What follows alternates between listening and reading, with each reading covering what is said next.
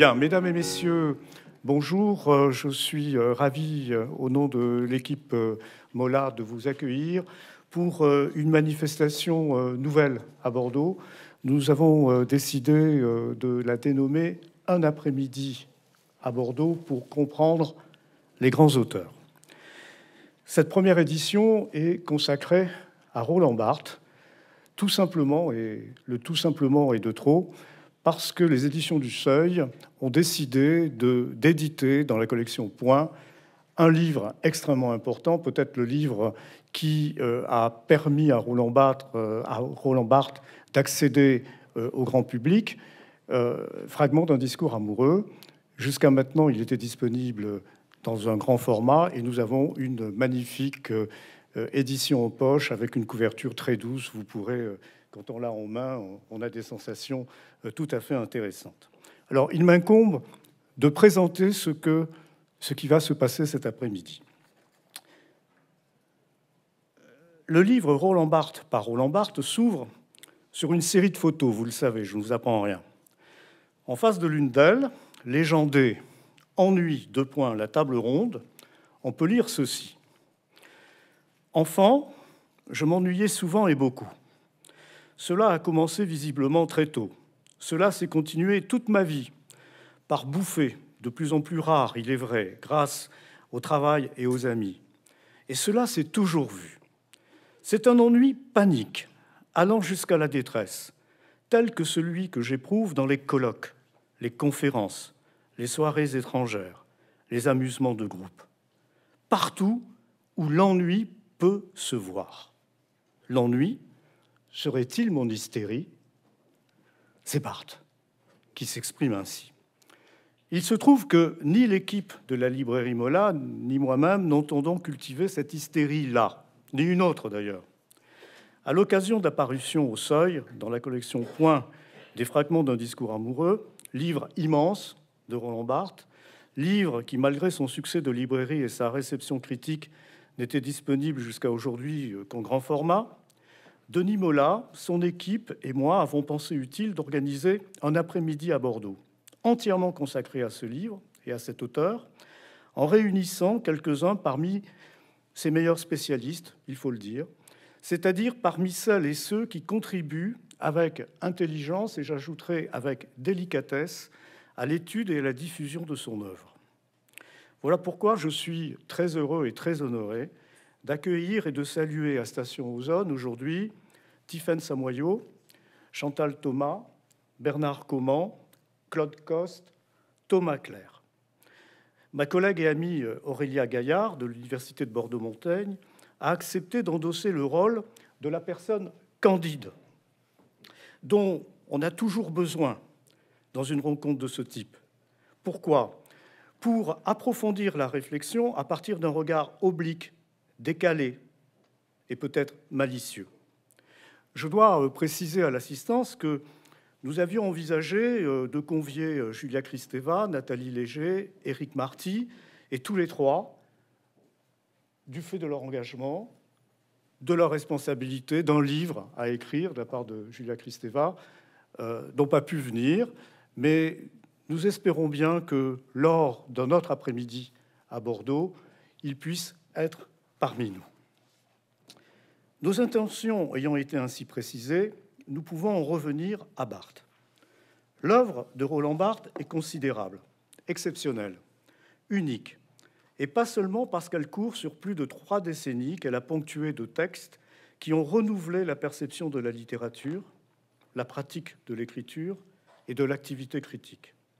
Son nom est tout à la fois attaché à cette pensée française adossée au structuralisme et aux expérimentations et aux questionnements revendiqués par la dernière avant-garde littéraire telle qu'elle et par ses alentours, et ce, au sein d'une France qui, sous la houlette du général de Gaulle et dans les ors de la Ve République et ses rêves de grandeur retrouvés, dans une France qui ignorait qu'elle vivait la fin d'un monde, celui de la bourgeoisie industrielle et industrieuse, et que pointaient de nouveaux rivages, lesquels la feraient basculer dans l'ère de la communication l'anthologie poétique de Georges Pompidou s'effaçant devant l'accordéon de Valéry Giscard d'Estaing. De Roland Barthes, Julia Kristeva, qu'il appelait avec affection et admiration l'étrangère, vous le savez, Julia Kristeva a pu dire qu'il était un de ces êtres rares, peut-être le seul, qui lui était de connaître qui ne cultivait aucune foi sans pour autant s'empêcher de croire à ce qui est au fondement de tous les cultes, à savoir l'amour. Nul doute qu'à l'occasion de nos travaux et de nos débats, nos invités, notamment celles et ceux qui ont connu Barthes, auront à cœur d'honorer sa mémoire en brossant de lui un portrait sensible, susceptible d'aider les plus jeunes, et pas seulement eux, à se représenter qui était Barthes, comment il se comportait avec autrui, la manière dont il travaillait et agissait au, quotidien. Mais c'est d'abord et essentiellement de son parcours et de ses livres, à commencer par Fragments d'un discours amoureux, que nous entendons nous occuper cet après-midi. De sa trajectoire, dont Thomas Clair a heureusement indiqué dans Libération 2015, je crois, qu'elle était d'un guide sans message, de cette trajectoire, nous voulons nous inspirer. Et de celle-ci, on a souvent relevé et signalé des inflexions. D'aucuns évoqueraient des infléchissements. Ainsi, y aurait-il eu la phase du degré zéro de l'écriture et de la mort de l'auteur, laquelle aurait été rectifiée avec celle inaugurée par l'apparition du plaisir du texte? Tout au long de ce premier temps, Barthes se serait affirmé comme une figure éminente de la nouvelle critique. On sait au cœur de quelle polémique son sur-Racine a été précipité face à ceux qui donnaient le là alors dans l'institution universitaire, tous plus ou moins héritiers, comme Raymond Picard, d'une tradition érudite s'inscrivant dans la lignée de Gustave Lançon et avant lui de Sainte-Beuve. De cette périodisation binaire, euh, Philippe Forest s'est amusé dans Art Press lors de l'édition de la préparation du roman par Nathalie Léger et Eric Marty. Forest s'est amusé en disant ceci. Reprenons. Dans les manuels, les précis, les traités où Roland Barthes a désormais droit de citer, une image scolaire s'est constituée qui oppose pédagogiquement deux moments de son œuvre et qui le fait sur un mode comparable à celui dont usait autrefois pour évoquer la carrière des grands écrivains les Lagarde et Michard et autres Castès et Surer, en vigueur dans les classes de lettres de l'enseignement secondaire. Il y aurait ainsi un premier et un second Barthes. Le premier, celui du degré zéro de l'écriture, du système de la mode, etc., s'engageant sous le signe de l'existentialisme, du marxisme, du structuralisme, dans le projet d'une science de la littérature, dont le second, celui du plaisir du texte, des fragments d'un discours amoureux, aurait compris l'impossibilité, lui substituant une pratique hédoniste, subjective, rhapsodique de l'écriture retrouvée. Barthes, quant à lui, dans son Roland Barthes par Roland Barthes en 75, discerne quatre phases d'évolution celle de la mythologie sociale, de la sémiologie, de la textualité et de la moralité. Repérage qui l'accompagne de ce commentaire à la fois extrêmement lucide et passablement ironique. Je cite Le découpage d'un temps, d'une œuvre en phase d'évolution, quoiqu'il s'agisse d'une opération imaginaire, permet d'entrer dans le jeu de la communication intellectuelle. Deux points, on se fait intelligible, et il souligne. Justement, avec le Roland Barthes par Roland Barthes et la Chambre claire, beaucoup de commentateurs ont glosé sur ce qui a été perçu comme un tournant biographique. Plusieurs d'entre eux s'attardant, méchamment d'ailleurs, sur le désir de Barthes de prolonger son effort d'analyse des œuvres et des textes par une critique en acte, pleinement assumée, ce qui impliquait que le lecteur exigeant et éclairé accoucha du romancier, ce dont il avait, nous le savons tous, le plus vif souhait. Il m'est apparu en préparant cet après-midi, utile de ne pas faire l'économie de ces rappels, en particulier si on a la volonté de situer fragments d'un discours amoureux, à la fois dans l'œuvre de Barthes et par rapport au contexte qui a présidé à la publication du livre. J'ai l'impression que Barthes n'accordait pas énormément de crédit aux dissertations, ni aux traités, ni aux livres sur l'amour. Il a eu l'occasion de s'en expliquer à la télévision en réponse à Bernard Pivot, en assurant à son interlocuteur qu'il doutait du petit mot sûr et que le choquait la préposition de dans le titre de Stendhal de l'amour. Aussi, son fragment d'un discours amoureux n'était-il en rien un art d'aimer Il faut ici écarter tout malentendu. Avec les fragments, il ne s'agit ni d'une analyse de l'amour, pas même de son discours, ni d'une étude psychologique. D'entrée, Barthes est très clair. Je vous rappelle ce qu'il nous adresse au début du livre. On a donc substitué à la description du discours amoureux sa simulation. Et l'on a rendu à ce discours sa personne fondamentale qui est le jeu, de façon à mettre en scène une énonciation, non une analyse. Fin de citation. Mais d'emblée, il convient de remarquer qu'à un moment de l'histoire où l'on considère que, à l'époque, pratiquer le sexe, c'est bon, c'est bon pour toutes et pour tous, à condition que chacun y consente, l'auteur déclare vouloir nous entretenir d'un sentiment et d'une passion. Je cite de nouveau Barthes. Discrédité par l'opinion moderne, la sentimentalité de l'amour doit être assumée par le sujet amoureux comme une transgression forte qui le laisse seul et exposé par un renversement de valeurs. C'est donc cette sentimentalité qui fait aujourd'hui l'obscène de l'amour. Dans le climat des années 1970, c'est là comme la marque d'un sérieux décalage.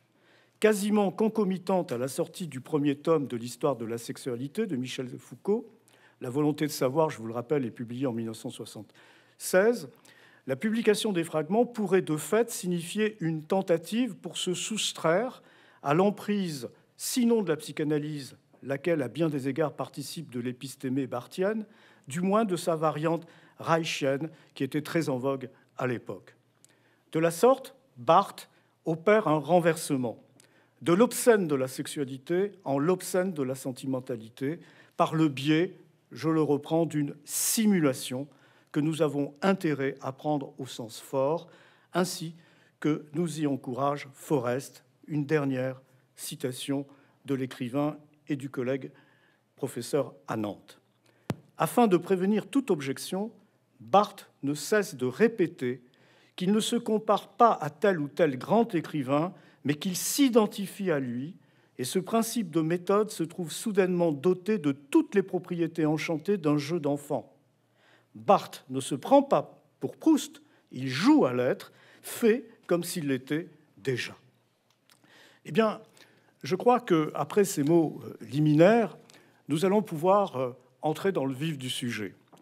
Si euh, le tableau que j'ai brossé à gros traits, d'une manière presque grossière, de dire qu'avec les fragments, l'on assiste peut-être à un renversement de l'obscène, l'obscène du sexe, de la chair, des corps, vers l'obscène de la sentimentalité, j'ai envie de me tourner vers notre premier intervenant, lequel euh, va me remplacer, et non pas de l'interroger brutalement, mais de dire que peut-être, à l'époque, ce renversement, si mon hypothèse euh, a quelque consistance, pouvait apparaître comme quelque chose de démodé.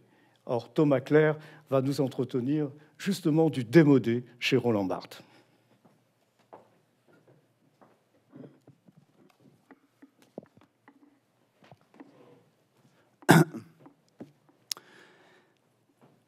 Merci beaucoup de votre, euh, votre invitation d'abord. Euh, et je, suis très content de, participer à cette, à cette table ronde. Euh, et vous me mettez dans, un embarras un petit peu parce que... oui qui est de, voilà, de devoir répondre à une question immédiatement, et qui est une question en plus très complexe. Euh, et donc, euh, je, botte en touche, en fait, euh, faisant, un peu mon Barthes, c'est-à-dire refusant de voir, enfin, je, vois dans le langage une, injonction, finalement, à, répondre, et vous, m'obligez à parler, voilà, on pourrait dire en, un sens. Mais, je ne vais pas du tout me dérober, mais je suis en fait une sorte de, double embarras par rapport à cette question du démodé, dont je vais juste dire de manière assez, assez informelle, enfin, disons, une sorte de, de, sentiment ou de, ressentiment peut-être. Euh, je, n'emploie pas le mot ressenti que je, que je n'aime pas. Mais par rapport à cette question du, voilà, du, démodé, euh, je, vais essayer de, de, livrer voilà, certaines, certains éléments euh, extrêmement. Alors, vous, vous excuserez d'avance le côté assez décousu de mon discours, mais en, même temps, bon, euh, ça n'est pas forcément très grave. Euh, ben, on pourrait d'abord partir de, l'idée toute, simple. Je crois que Pierre Guyotat est mort. Et il a, été enterré aujourd'hui à l'église Saint-Roch à Paris. Et Roland Barthes avait fait une, préface pour euh, Eden, Eden, Eden. Et hum, voilà, donc, euh, et, donc je vais immédiatement contextualiser un petit peu les choses, mais de manière très grossière, vous, vous m'en excuserez, mais bon, voilà, euh, c'est-à-dire une certaine porosité à un contexte, que ce soit la, mort de Pierre Guyotat, mais elle est, elle est quand même, elle arrive, je dirais, en une sorte de mais aussi de manière plus, plus vulgaire, finalement, euh, l'affaire Matzneff, finalement, et euh, à laquelle j'ai consacré justement un, petit texte récemment qui s'appelle L'âge pivot, et puis aussi la mort de Claire Bretéché. Tout, ceci n'ayant qu'un rapport finalement indirect, mais l'indirect n'est pas non plus complètement euh, anti-barthésien, puisque j'ai le sentiment, si vous voulez, j'ai le sentiment très fort de la fin d'un monde. Voilà pourrait dire ça. Entre monde et mode, il y a euh, un N ou une N, peut-être, si on veut jouer sur les mots. Et, donc, euh, voilà, j'ai ce sentiment très fort d'une fin d'un certain monde dont, dont Barthes, il faut dire, était l'une des, figures. Bon. Et donc, euh, on pourrait dire en un sens que j'ai le sentiment que Barthes n'est plus à la mode, qu'il est démodé, en un sens. Voilà, on pourrait dire ça comme ça. On, verra un petit peu ce que mes petits camarades en pensent, mais ça pourrait être un sujet euh, un peu brûlant. Euh, donc, je, pars d'un sentiment finalement de, quelque chose qui, que je vais avoir du mal à théoriser, mais c'est quelque chose que je sens. Bon. et à mon avis, alors je vais essayer quand même d'être un peu plus argumentatif. à mon avis, il est démodé parce qu'il est moderne. Et donc, euh, on pourrait. Euh, mais alors, encore une fois, il faudrait évidemment. Euh, je, n'ai pas la, possibilité de développer complètement, mais je, donne des, éléments. il est et donc, on pourrait, si vous voulez, je refuse. je pourrais faire un paradoxe facile qui est il est démodé, donc, précisément, c'est sa force. Voilà. Le, paradoxe facile serait de dire il est, il est démodé. Je n'ai pas encore dit pourquoi, mais je vais essayer de le dire rapidement il est démodé. Et, donc, on, pourrait finalement, euh, euh, paradoxalement, euh, faire l'hypothèse suivante que, eh bien oui, ce, côté démodé fait de lui sa, puissance. Mais je ne, suis pas favorable à ce paradoxe.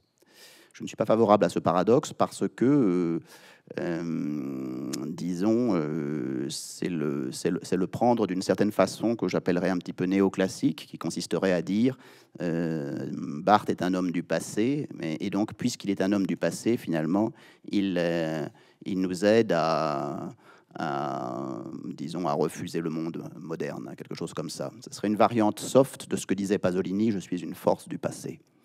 Pasolini disait Je suis une force du passé. évidemment, il y a une puissance de subversion propre à Pasolini qui n'est pas la même que justement la récupération parfois dont on peut euh, utiliser Barthes, c'est-à-dire de dire au fond, euh, bah, vous voyez, ça a été un anti-moderne, euh, c'est un homme du passé, c'est un homme démodé, et bien justement c'est ce qui fait que finalement il, nous parle aujourd'hui. Je, je, ne crois pas à ça. Bon. Je, donc je préférerais essayer de, voilà, de, voir en Barthes un démoderne, donc mais je ne sais pas exactement ce que j'entends par là, et c'est assez complexe, car c'est encore une fois quelque chose que je, que je perçois. Mais bon, si vous... Voilà, bon, donc... Euh, alors sur ce démodé, il a écrit des choses, euh, par exemple, que je, je, vous lire un tout petit texte qui est extrait du, de son autoportrait, Roland Barthes par Roland Barthes, un petit fragment qui s'appelle Le démodé. Voici ce qu'il écrit. Soustraite au livre, sa vie était continuellement celle d'un sujet démodé. Quand il était amoureux, par la manière et le fait même, il était démodé. Quand il aimait sa mère, qu'eût été s'il avait bien connu son père et que par malheur il l'eût aimé, il était démodé. Quand il se sentait démocrate, il était démodé, etc. Mais que la mode fasse un tour de vis supplémentaire, et ce serait une sorte de kitsch psychologique, en somme cette expression de kitsch psychologique, enfin, c'est un passage assez étonnant. Vous voyez comment euh, il récupère cette crainte d'être démodé à un niveau supérieur en en faisant une, valeur, mais en même temps en,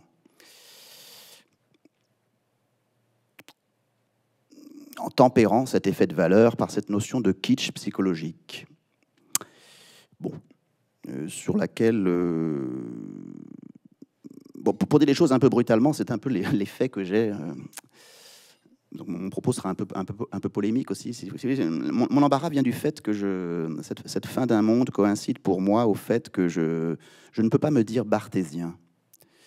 Bon, alors, mais bon, Barthes m'intéresse évidemment, mais je, sens ce kitsch psychologique, par exemple, dans les fragments d'un discours amoureux, mais bon, on, pourra en parler, évidemment. J'arrive d'une manière euh, un petit peu à mettre euh, finalement les, choses. Bon, pourquoi alors euh, peut-être de manière plus plus plus précise, pourquoi Qu'est-ce qui me paraît démodé chez Barthes? Trois choses. une première chose très générale qui est que euh, je dirais que, enfin, oui, voilà, un, niveau global, on peut dire que bah, nous, nous, sommes dans un monde de la communication, ça, ça, n'étonnera personne. Donc je, juge Barthes par rapport à un contexte qui est le nôtre. Voilà, au fond, c'est ça qui m'intéresse, c'est de voir quel est le point de contact. Je ne m'intéresse pas tellement de parler de Roland Barthes en tant que tel, et notamment des fragments de discours amoureux que mes collègues euh, et amis connaissent beaucoup mieux que moi en un sens, et en un sens, et sans doute aiment mieux que moi. Mais bon, j'ai un problème avec ce texte. Mais c'est que l'amour ne m'intéresse pas, en fait. Eh oui, eh c'est compliqué, mais bon, mais bon, voilà.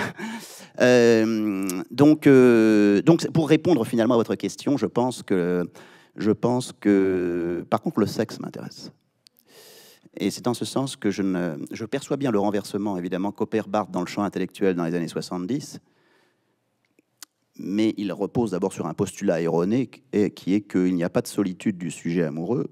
Enfin, il y, a une solitude du sujet amoureux dans le champ intellectuel, mais certainement pas dans le champ de la culture populaire, qu'il ne connaît pas, qui est la chanson d'amour. Là, donc il faudrait exactement préciser euh, les, choses. Mais bon, j'aurais adoré qu'il fasse une sémiologie de la chanson populaire française, mais là, c'est trop lui demander. Enfin, c'est autre chose. Hein, mais... Bon, et, euh, excusez moi mon côté un peu brutal euh, et assez peu barthésien, je, reconnais. Enfin, bon, c'est pas grave. c'est comme ça. Il se trouve que les héritiers euh, sont imprévisibles, c'est ce qui est beau, c'est ce qui est beau aussi. Ça, c'est plus barthésien déjà. Bon, bon alors donc, voilà, je dirais que Barthes me semble un peu démodé à un niveau général, au sens où il est dans un monde de la communication, et que dans ce monde de la communication, il est évident que l'oral, l'oral est prisé d'une manière bien plus grande que l'écrit c'est-à-dire exactement le contraire de ce que pensait Barthes. Barthes préférait l'écrit à l'oral. Par conséquent, dans un monde où c'est le contraire, je vois mal comment on peut trouver une place, on pourrait dire, pour la grandeur de, l'écrit. Voilà, c'est très général, mais bon. D'un point de vue plus linguistique, on pourrait dire que les, les deux fonctions du langage auxquelles s'est intéressé Barthes, euh, la fonction référentielle et la fonction poétique, sont concurrencés, selon moi, par une montée en puissance d'une fonction qui était vue comme secondaire euh, à l'époque, euh, qui est la fonction fatigue. C'est-à-dire, je pense que la fonction qui domine aujourd'hui dans le langage, c'est la fonction fatigue, c'est la fonction de contact, c'est-à-dire la fonction d'une communication globalisée, généralisée, euh, et qui fait que, bon, enfin, vous voyez, j'ai pas besoin de, faire des dessins, mais voilà, les gens sont toujours dans un contact. ça touche même à la question de la photographie aussi car évidemment les analyses de Barthes sur la photographie ont un côté en partie démodé à partir du moment où justement les gens euh, s'envoient des photographies en permanence. C'est-à-dire que la, photographie euh, est, devenue quelque chose qui est de l'ordre du contact et puis tellement finalement de de l'image en elle-même. Bon. Je, passe maintenant, dirons-nous, euh, peut-être, je quitte un peu les généralités, je regarde dans le champ universitaire. Pourquoi il est démodé? Bah, Il est démodé, ça me semble assez évident, parce que le formalisme est mort. C'est simple, enfin je le dirais brutalement, mais globalement, euh, je le déplore personnellement. Mais ça, c'est une autre question. Ou en tout cas, il faut être avec son temps, quoi. Bon. Donc, euh, il n'y a que Jean-Marie Schaeffer, qui, dans un livre assez improbable, une lettre à Roland Barthes, qui est paru il y a trois ans, déclare avec une, espèce de chose assez étonnante, il dit euh, bah, son meilleur livre c'est le système de la mode. Il faut quand même pas pousser le paradoxe un peu loin, c'est-à-dire euh, le formalisme absolu. Quoi. Je, n'y crois pas, enfin ça, n'est pas possible. Bon. la mort de Jeunette aussi. Vous voyez, tout, ça. Enfin, pour moi, c'est, je, fais une sorte de panorama un peu apocalyptique, euh, mais bon, je, me sens, si vous voulez, partie prenante de ce panorama. Donc ça m'inquiète, c'est normal, je vous fais part de mes inquiétudes. Bon. À l'université, qu'est-ce qui se passe? Puisque le formalisme est mort, il y a le retour de l'histoire littéraire, à laquelle Barthes, euh, évidemment, était étranger. En ce sens que l'histoire littéraire, c'est quoi? C'est des champs de spécialistes. Ce sont des champs de spécialistes. Donc à, l'université, maintenant, euh, aujourd'hui, les gens euh, finalement reprennent la question de l'histoire littéraire, bon, qui est intéressante, hein, moi j'ai rien contre, mais évidemment, ça limite toujours les échanges, parce qu'un spécialiste de l'histoire littéraire, c'est quelqu'un qui a pour but de vous faire taire. C'est-à-dire si euh, sur Balzac, il connaît tout sur Balzac, il va, ou, ou, sur tel sur auteur, il connaît tout sur tel auteur, et donc il va vous il va toujours vous mettre dans une position de non savoir, qui était la position de Barthes, que je trouve assez belle d'ailleurs.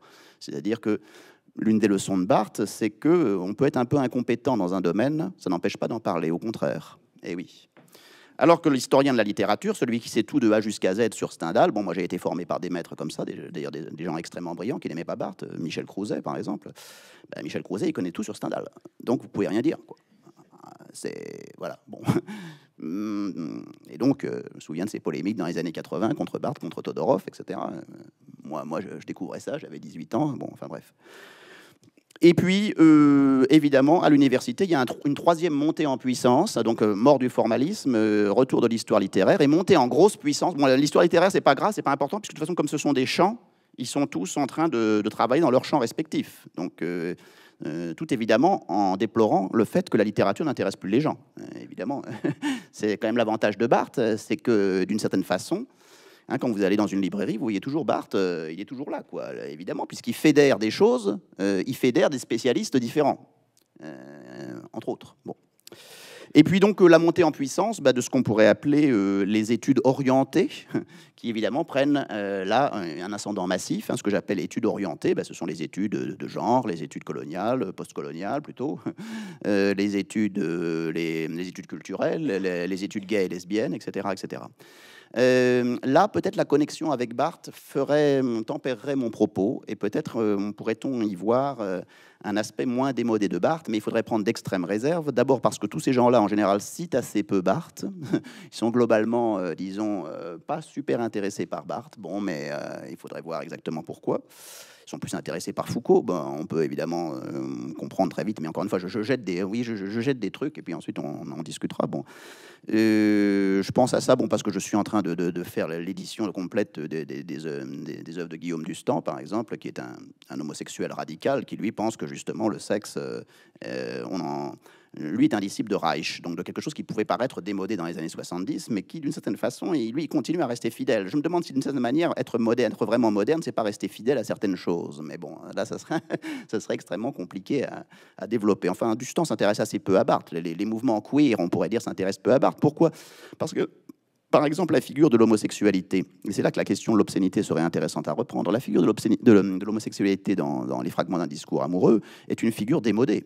C'est-à-dire, c'est la figure de, l'homosexuel féminin type années 70, euh, l'homosexuel féminin, si vous voulez, l'homosexuel pré-sida, c'est-à-dire euh, avant le côté, euh, disons, le côté, le côté cuir, et non, et non pas cuir et queer. Bon, voilà.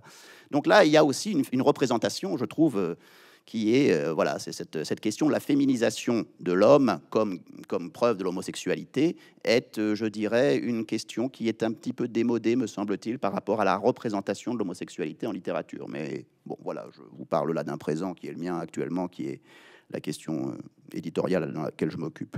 Bon, voilà.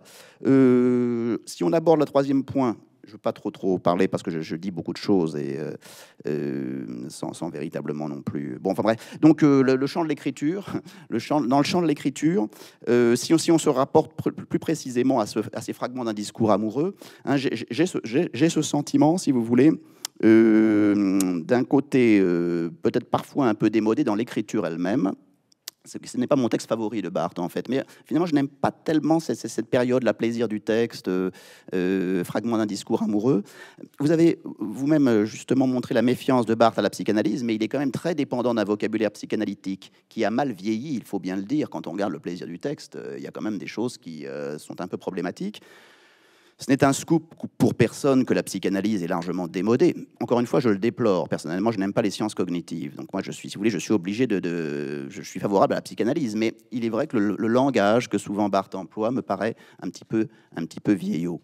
Euh, et aussi parce que d'une certaine façon, il y a chez lui une, tension entre une sensualité qui n'est pas complètement assumée, c'est le moins qu'on puisse, qu'on puisse dire, et donc la, euh, comment dire, la compensation, on pourrait dire, de cette sensualité par une sophistication une par, une par une hyper-intellectualisation finalement des choses. Et cette tension, elle donne des choses formidables parfois. Hein. attention, j'adore Barthes, ici je le, critique, bon, parce que aussi ça peut fournir un petit peu l'avantage d'un débat éventuellement. Mais euh, si vous voulez, cette tension entre une, volonté de sensualité et une hyper-sophistication intellectuelle donne des choses très belles, notamment dans le dispositif du livre. Je trouve que ce qui est très beau, mais c'est un dispositif également assez démodé en ce sens qu'il est hyper conceptuel, il est hyper sophistiqué, quoi. Comme, euh, mais, mais je trouve ça très beau, encore une fois. Mais euh, disons, ce côté hybride, c'est pas évident de, disons, de suivre, de suivre, de suivre Barthes de ce point de vue-là. Il y a des choses, par contre, qui sont moins, je trouve, moins probantes. Je vais vous lire un passage que je trouve, par exemple, euh, très parlant dans le mauvais sens du terme. Quand il écrit, par exemple, page 87 dans l'entretien, euh, le langage est une peau. Je frotte mon langage contre l'autre. C'est comme si j'avais des mots en guise de doigts ou des doigts au bout de mes mots. Mon langage tremble de désir. Le langage jouit de se toucher lui-même. Bon, tout ça, euh, je suis désolé, j'aime pas trop. Voilà. Ben oui, oui, non. Euh, c'est pourquoi? Ben Parce que vous voyez bien, il y a un côté, enfin, il y a une sorte de. Et c'est là que je renvoie à la question du kitsch psychologique. Alors évidemment, Barthes est génial, c'est-à-dire qu'il il problématise finalement la pente esthétique euh, vers laquelle, il, tombe, vers laquelle euh, il, espère ne pas glisser. C'est comme ça que j'interprète le, fragment du démodé, quand il parle du kitsch psychologique. Euh, au, fond, il, comment dire, il est d'une intelligence extraordinaire, d'une hyper-intelligence. Et d'ailleurs, on pourrait se dire, d'ailleurs, on pourrait se demander si l'intelligence n'est pas démodée, d'ailleurs, pour reprendre les mots de Marcel Proust, chaque jour j'accorde moins de prix à l'intelligence.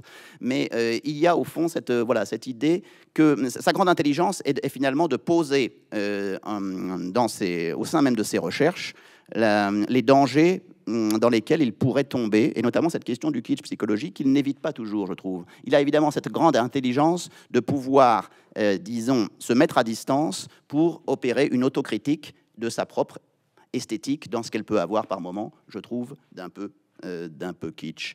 Euh, mais c'est évidemment cet aspect-là. Bon, c'est ici, voilà, on pourrait reprendre la critique voilée que faisait Marguerite Duras de Barthes dans la, dans la vie matérielle, hein.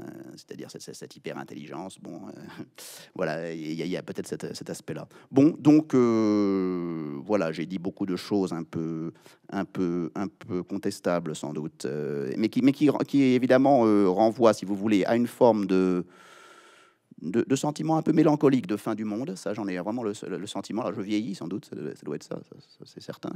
Mais euh, cet effet de vieillissement me paraît, disons, euh, me paraît entrer en écho avec certains des aspects de la littérature de Roland Barthes. Mais on pourra en discuter. Je vous remercie. Alors, merci euh, Thomas Claire. je suis ravi parce que vous m'avez demandé d'être incisif. Alors, Absolument. je vous ai demandé d'être incisif, d'être iconoclaste. Et je pense que, de mon point de vue, le, contrat est rempli. Et j'ai envie, euh, avant de me tourner vers euh, nos amis et nos invités, qui peut-être, et j'en suis à peu près sûr, auront envie de réagir à vos propos, euh, je les ai entendus de la manière suivante, vos propos. Barthes, homme sans système, donc sans disciple. Et je ne vais pas dire que vous êtes un orphelin de Barthes, je ne dirais pas ça, mais j'ai envie, je suis allé chercher mes notes, de vous lire Barthes, parce qu'en vous écoutant, j'ai eu l'impression que Thomas Claire faisait ceci. J'aime, je n'aime pas.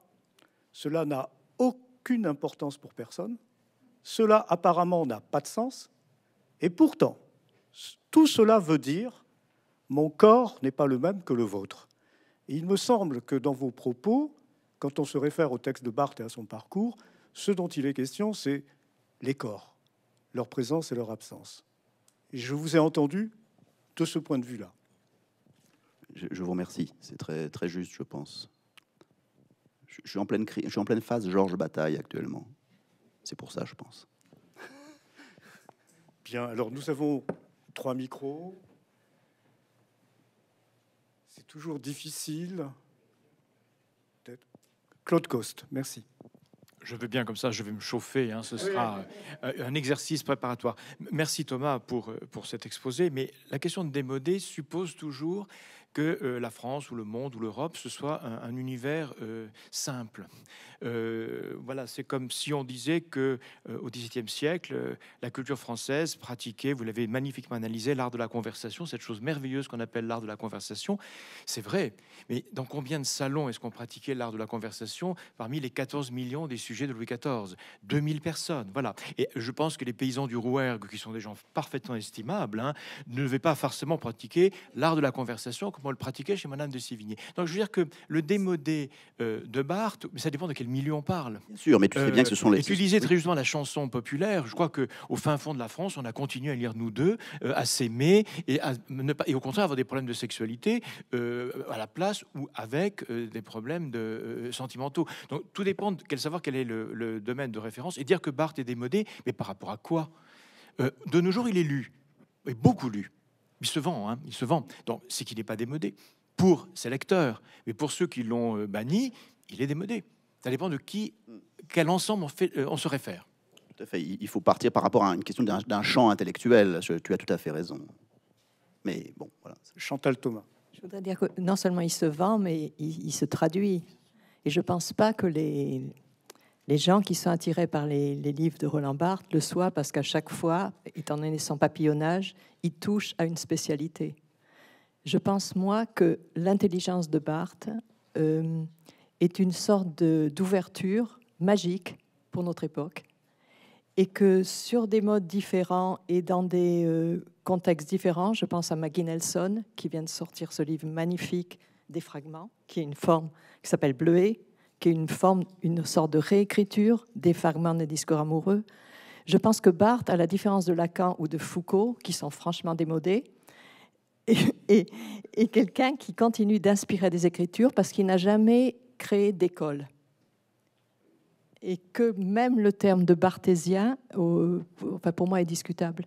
Oui, c'est ce que je voulais dire. Vous avez tout à fait raison. C'est ce que je voulais dire. Euh, on peut quand même pas dire que Foucault soit démodé. Les, les, Foucaldiens sont quand même, sont quand même en, oui, non, mais au, sein de l'institution euh, universitaire, ils sont nombreux. Eh ben, c'est le moins qu'on puisse dire. C'est pour ça, c'est ce que je voulais dire. encore une fois, moi, je ne suis pas du tout pour que Barthes soit démodé. Hein. J'ai essayé de faire comprendre, mais j'ai ce sentiment, mais c'est parce que j'ai une vision un peu apocalyptique de, des choses là actuellement. Voilà. C'est vrai, oui. non, moi j'ai très peu à dire. Euh, je, je, veux juste moi, mon sentiment, c'est qu'il n'y a pas de temple Barthes. Donc, il n'y a pas de propos sacrilèges. Euh, on peut le juger démodé. Euh, c'est pas mon cas. Euh, je pense euh, qu'au contraire, c'est une œuvre qui continue d'être extrêmement séminale, active dans la capacité à lire, à lire le monde, à lire ses signes. je pense même qu'il y a un, d'une certaine façon, le monde qui nous entoure euh, redevient beaucoup plus, euh, pas barthésien, mais objet euh, d'un regard barthésien, que le monde, par exemple, qui était celui de la fin des années 70, où, Barthes avait voulu reprendre la pratique des, mythologies sous la forme de chroniques dans le Nouvel Observateur, et où, au fond, parmi les constats qu'il avait conduit à arrêter, il y avait celui que peut-être ce monde-là avait moins de prégnance mythologique que celui des années 50 et que donc euh, la pertinence euh, de, ces chroniques euh, n'était pas fondée. je pense que depuis, il y a eu une très forte remontée, disons, de la teneur mythologique du monde et que un Barthes nous ferait aujourd'hui beaucoup de bien. je dirais Barthes tous les jours.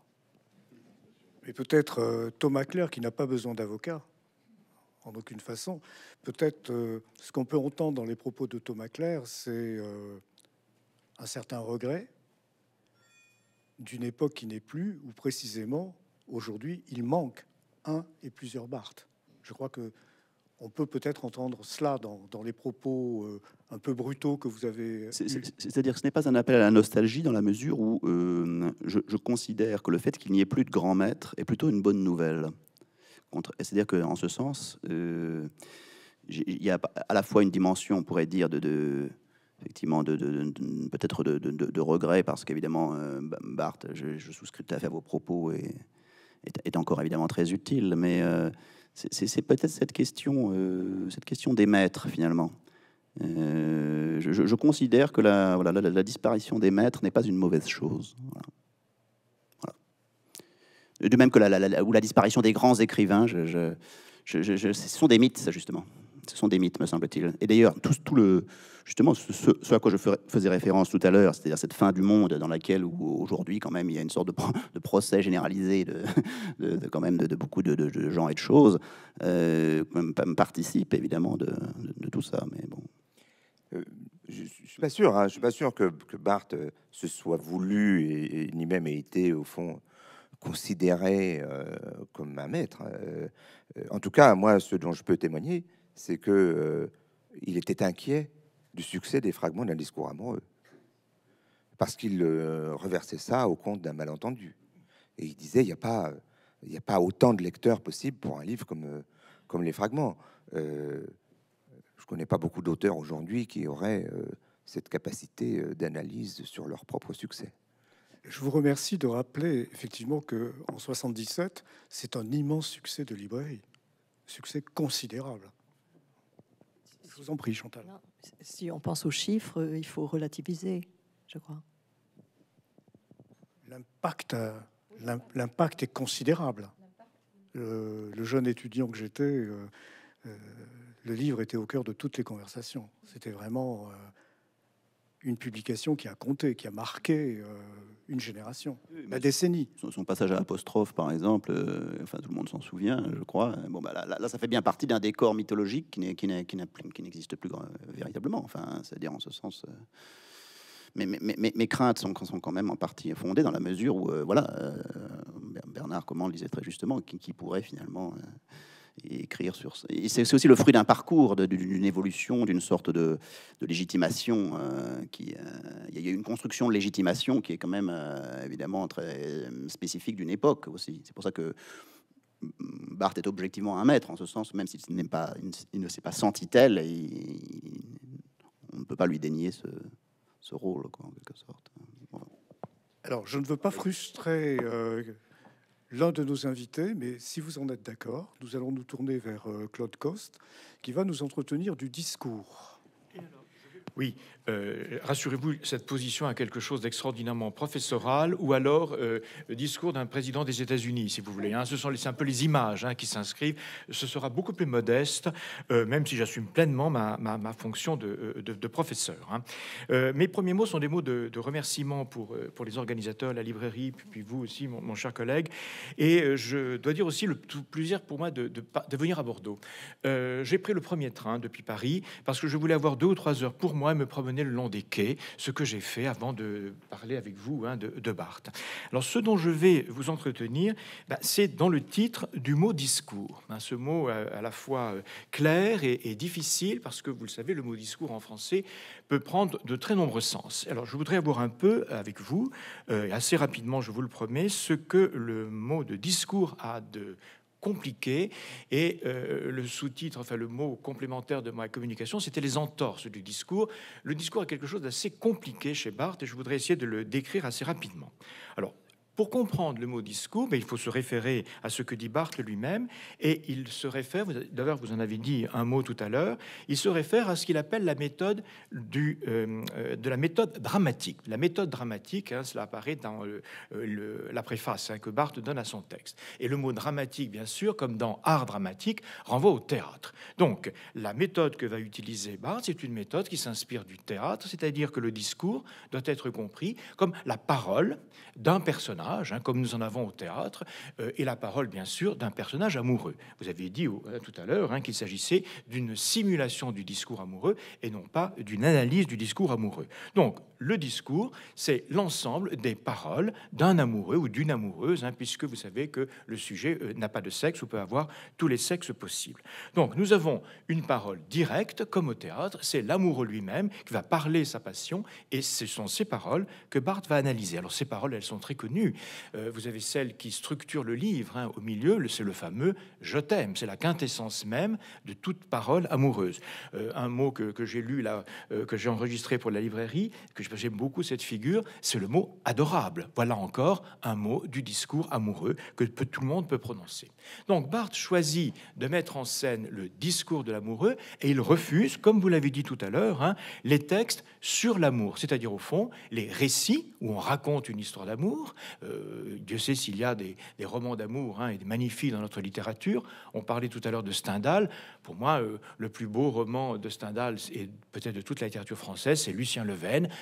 Ce n'est pas qu'un roman d'amour, mais c'est un très grand roman d'amour. On nous raconte une magnifique histoire entre Lucien et Madame de Chastelaire. Et puis, bien sûr, le discours sur l'amour, c'est un, discours qui relève de la dissertation, du traité. Et l'exemple magnifique que vous avez donné, qui est encore un chef-d'œuvre de la littérature et qui est très différent de Lucien Leven, c'est le fameux De l'amour de Stendhal. On pourrait aussi citer euh, le banquet de Platon, même si le texte est un peu plus compliqué parce qu'il y a aussi du discours amoureux dans le banquet de Platon. Donc, tout est simple d'une certaine manière, mais vous allez voir que tout n'est pas simple. Le discours amoureux, c'est la parole de l'amoureux, comme on l'entendrait au théâtre ou comme on l'entendrait dans les dialogues de romans. Mais en même temps, tout n'est pas simple. Je voudrais vous lire quelques petits passages de Barthes, d'où la nécessité que j'avais d'avoir euh, les mains libres. hein. Voici ce que dit Barthes, page 7. Et nous allons voir que ce discours va se complexifier. Il parle de l'amoureux pour dire quelqu'un qui parle en lui-même, amoureusement, face à l'autre, l'objet aimé, qui ne parle pas. Donc l'amoureux parle face à l'objet aimé qui, lui, ne parle pas. Je fais de la paraphrase. Autre passage la page 21 dans l'ancienne édition. Page 21, voici ce que dit Barthes, là encore. Je, c'est l'amoureux, je tiens sans fin à l'absent le discours de son absence, situation en somme inouïe. L'autre est absent comme référent, présent comme allocuteur. Bon, c'est clair, en fait, je crois, comme formulation. Le discours amoureux est une forme de dialogue. Je m'adresse à l'autre, l'objet aimé, mais il n'est pas là. Donc, le discours amoureux, c'est un discours, c'est un dialogue dans lequel il n'y a qu'une seule personne. Et l'autre est un interlocuteur qui n'est pas présent, et je dirais souvent un interlocuteur imaginaire. Bref, le discours amoureux, c'est une parole dialogique qui, en fait, est un monologue. Voilà, déjà une restriction du sens de discours. Le discours est un monologue dans lequel je joue le dialogue. Et c'est quelque chose qui est assez courant finalement. Je ne parle pas de la vie, hein, je parle de la littérature, ce qui est beaucoup plus partageable d'une certaine manière. Dans, le magnifique monologue que Antiochus, au début de Bérénice, hein, de Racine, euh, nous propose, il s'adresse à Bérénice. Eh bien, belle reine, pourquoi ne m'aimeriez-vous pas? Il s'adresse à Bérénice alors qu'elle n'est pas encore là. Nous avons là une sorte de, de germe du discours amoureux. Et je me suis plu à chercher dans notre littérature de ces formes de discours amoureux, voir si ça pouvait constituer un genre ou un sous-genre de ce discours que j'adresse à quelqu'un qui n'est pas là. Et j'ai cherché, et j'ai trouvé un très grand texte du XVIIe siècle, les lettres portugaises. De quoi s'agit-il? Cinq lettres d'une passion torride. Hein. Euh, bataille euh, est loin euh, de la religieuse portugaise. hein. Que de quoi s'agit-il? Cinq lettres qu'une religieuse portugaise écrit en français à un officier français qui ne répond pas et on ne sait même pas si les lettres sont envoyées et reçues.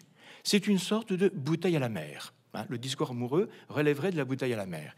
Et puis j'ai cherché d'autres exemples de ce discours amoureux et je suis très preneur de textes que vous pourriez me conseiller qui relèveraient de cette structure-là. Je m'adresse à un absent comme s'il était là. Alors j'ai trouvé, en cherchant on trouve, hein, un très très beau texte d'une écrivaine peu connue qui est Marie-Victoire Rouillet. Et ce texte s'appelle Un corps en trop, à la fin des années 80. Il s'agit de 40 lettres qu'une femme écrit amoureusement à une religieuse. Décidément, les couvents sont des lieux euh, euh, très propices hein, euh, au bouillonnement amoureux. Donc, une jeune femme écrit à une religieuse qui ne peut pas lire les lettres parce que c'est en plein carême. Et ensuite, elle va, je ne raconte pas pourquoi, elle ne pourra pas les lire pour une autre raison. Donc, là encore, une bouteille à la mer. Et puis, j'ai lu, il y a bien longtemps de cela, je me souviens du titre d'un un ouvrage d'Olivier Barbaran, un spécialiste d'Aragon, a un écrivain et un poète, qui s'intitule Lettres d'amour aux soldats inconnus. et je pense que le soldat inconnu ne pouvait pas répondre, hein, là aussi, euh, à ces lettres. Donc il y a toute une, euh, une pratique littéraire dont euh, Barthes est une des composantes essentielles de ce faux discours, hein, qui est en fait une sorte de monologue, donc un texte solitaire que j'adresse à quelqu'un qui n'est pas là. Alors, que faut-il en tirer si on veut absolument commenter? Vous savez que les professeurs aiment commenter et faire surgir du sens, et je le fais bien volontiers. S'agit-il finalement d'une vision négative de l'amour au fond, nous le savons bien, depuis les chansons, les histoires d'amour finissent toujours mal. Et euh, au fond, les bouteilles à la mer, il est très très rare que quelqu'un puisse les retrouver euh, sur la plage. S'agit-il du signe d'un échec? Effectivement, on pourrait se demander si euh, tout le livre n'est pas habité par l'échec et le sentiment que tout est perdu d'avance. Et le signe littéraire de cet échec généralisé, ce serait précisément ce discours incomplet. Voici ce que dit Barthes, page 38, dans la figure angoisse. Je n'en lis qu'un petit passage qui concerne l'angoisse d'amour. Voici ce qu'il écrit. Elle est la crainte d'un deuil qui a déjà eu lieu, dès l'origine de l'amour, dès le moment où j'ai été ravi. Il faudrait que quelqu'un puisse me dire, ne soyez plus angoissé, vous l'avez déjà perdu. Vous imaginez, hein, dans la vie, quelqu'un nous avoue une grande passion en lui disant Mais tu sais bien que ça va tu vas droit à un échec. Voilà un peu ce type de cadre que nous pourrions avoir. Donc, ce passage sur l'angoisse d'amour pourrait aussi servir d'emblème à une sorte de mélancolie du livre, hein, qui pourrait aussi s'exprimer par cette interlocution faussée. Mais en même temps, euh, on pourrait aussi tenir un discours tout à fait opposé et dire que le livre a quelque chose de tonique, d'optimiste, et que s'il refuse d'être structuré, s'il refuse d'être composé, hein, pour qu'il n'y ait pas un parcours, si on regarde bien le livre, je vous le disais tout à l'heure, Je t'aime est au centre. Hein, comme Je t'aime est au centre de la vie amoureuse. Et si on regarde les figures finales, je vous les énumère. Telle, tendresse, union, vérité et vouloir saisir telle tendresse, union, vérité, vouloir saisir. On dirait une allégorie, hein, on dirait des personnages de Metterlinck d'une certaine manière, hein, qui nous indiquerait que le livre se dirige vers une fin glorieuse, tendresse, union, vérité. Et la dernière figure pourrait apporter un léger bémol, vouloir saisir, ou plutôt non vouloir saisir, qui est une apologie d'un amour qui renonce à tout désir de possession. Là, c'est une autre forme de triomphe, c'est une autre forme de réussite qui n'a rien de piaffant, mais qui peut-être indiquerait que le livre va vers quelque chose qui serait une belle fin, une fin heureuse. Donc voyez-vous, la structure, je dirais, étrange de ce dialogue, qui est en fait un monologue, peut aussi bien être interprétée du côté de l'échec, ne soyez pas angoissés, vous l'avez déjà perdu, ou du côté du triomphe hein, et du bonheur, hein, une sorte de happy ending hein, qui serait euh, peut-être euh, à ne pas prendre au pied de la lettre. Voilà euh, ce que l'on peut dire sur la première entorse de ce discours. Ce discours est un monologue qui se déguise en dialogue. Mais il y a une autre entorse qui me paraît tout à fait intéressante et qui va me conduire à la fin de mon exposé. D'abord, est-ce que nous avons vraiment affaire à un dialogue? Est-ce que nous avons vraiment affaire à une méthode dramatique? Je vous propose de commencer par le commencement, de commencer par la première figure. Alors voici comment se présente euh, le texte. Vous avez d'abord une enseigne, qui est une parole, puis un argument, et puis ensuite le développement. Je, vous donne les exemples très précis. Voici l'enseigne. Je m'abîme, je succombe. Bon, je pense qu'un amoureux qui dirait cela serait un amoureux très cultivé, qui aurait beaucoup lu Werther, hein. mais enfin, on peut imaginer qu'il y a encore des gens qui puissent dire face à l'être aimé, je m'abîme, je succombe. Puis suit ce que Barthes appelle l'argument. S'abîmer, bouffée d'anéantissement qui vient au sujet amoureux par désespoir ou par comblement. Il s'agit d'une sorte de définition. Et puis ensuite, la figure se développe. Je vous en lis le premier paragraphe. Soit blessure, soit bonheur, il me prend parfois l'envie de m'abîmer. Ce matin, à la campagne, il fait gris et doux. Je souffre de je ne sais quel incident. Une idée de suicide se présente, pure de tout ressentiment, aucun chantage à personne. C'est une idée fade, elle ne rompt rien, elle ne casse rien, s'accorde à la couleur, au silence, à l'abandon de cette matinée. Un autre jour, sous la pluie, nous attendons le bateau au bord d'un lac, etc. etc. Bon. Sommes-nous encore dans la méthode dramatique? Sommes-nous encore dans le théâtre? Sommes-nous encore dans le discours? Nous le sommes que pour la première phrase. Je m'abîme, je succombe. Mais ensuite, nous avons un texte tout à fait autrement qui, euh, paradoxalement, contrairement à ce que dit Barthes, est un commentaire.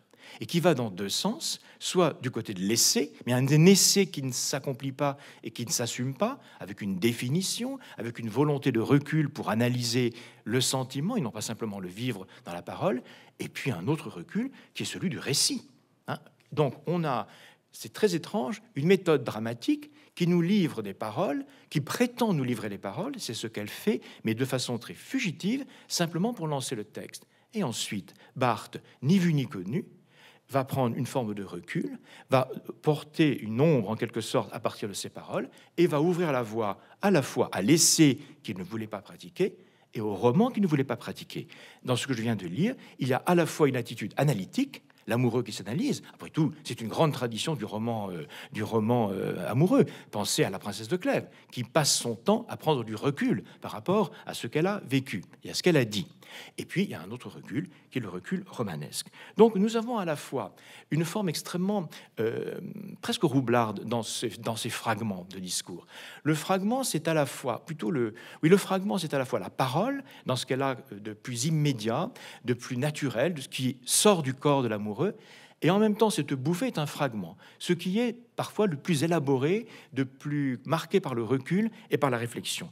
Et je trouve qu'il y a à la fois quelque chose de très spontané, c'est ce qui relève de la parole, et quelque chose de très sophistiqué, comme le disait Thomas Claire tout à l'heure, chez Barthes. Et il joue, grâce à cette duplicité du discours et du fragment, à la fois sur un effet d'immédiateté, le cri, le cri d'amour, et immédiatement un recul, qui est un recul analytique ou narratif.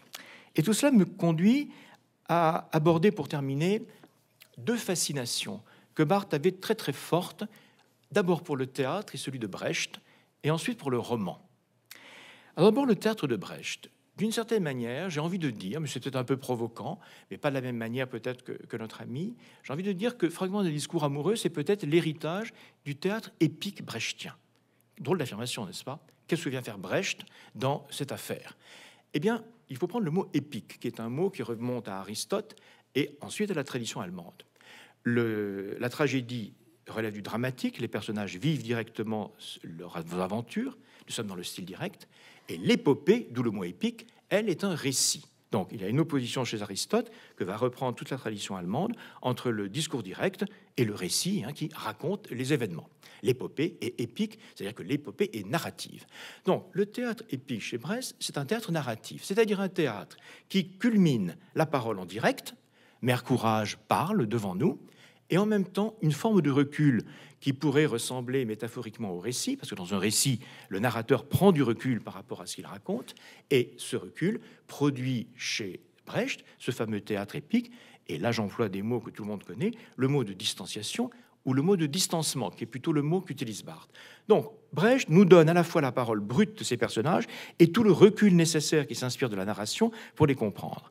Or, il me semble que Barthes, à la fin de sa vie, en 77, qui a toujours été marqué par l'intelligence de, Brecht, par la capacité de Brecht à mêler l'émotion et l'intellection. C'est ça le théâtre épique. C'est un théâtre, non pas qui renonce à l'émotion, c'est très émouvant souvent Brecht. Le théâtre qui conjugue l'émotion et l'intellection, et c'est exactement ce que reprend Barthes dans son livre, sauf qu'entre-temps, il a laissé tomber ben, le théâtre au sens propre, le marxisme, l'engagement politique, mais il retient ce geste intellectuel qui consiste à associer étroitement émotion et intellection, et qui l'accompagnera toute sa vie, et toute sa vie, il rendra hommage à cette capacité extraordinaire qu'a eu Brecht d'associer les deux mots, émotion et intellection. Et puis, ce recul par les idées, cet essai mal abouti ou qui ne veut pas aboutir, mais qui est quand même un geste intellectuel, nous permet aussi, je vais terminer là-dessus, de renvoyer à la passion que Barthes avait pour le roman et son désir profond d'écrire un roman. Et d'une certaine manière, le geste de ce discours un petit peu ambigu informellement, c'est peut-être la contribution de Barthes à ce roman qu'il voulait écrire. Voici une fiche qui figure dans le fichier gardé à la Bibliothèque nationale, hein, une fiche inédite que je voudrais vous lire, hein, il n'y en a rien d'indiscret, c'est pour ça que je me permets de la lire. Barthes réfléchit à ce roman qu'il rêve d'écrire, qu'il aurait pu écrire, il a laissé beaucoup de notes, et vous le savez, un accident de voiture a définitivement résolu la question. Voici ce qu'écrit Barthes, et vous allez voir que peut-être que ça correspond à fragment d'un discours amoureux. Je ne sais pas créer l'autre, parce que mon amour du monde passe non pas par l'imagination, mais par les idées. S'il n'y a, a pas cette médiation, sous-entendue par les idées, je retombe dans l'égotisme. Il faut garder le mélange des deux. Les deux, c'est imagination et idée, je pense. Hein. Je voudrais vous relire la citation sans, l'interrompre pour ne pas la compliquer. Je ne sais pas créer l'autre, parce que mon amour du monde passe non pas par l'imagination, mais par les idées. S'il n'y a pas cette médiation, je retombe dans l'égotisme. Il faut garder le mélange des deux.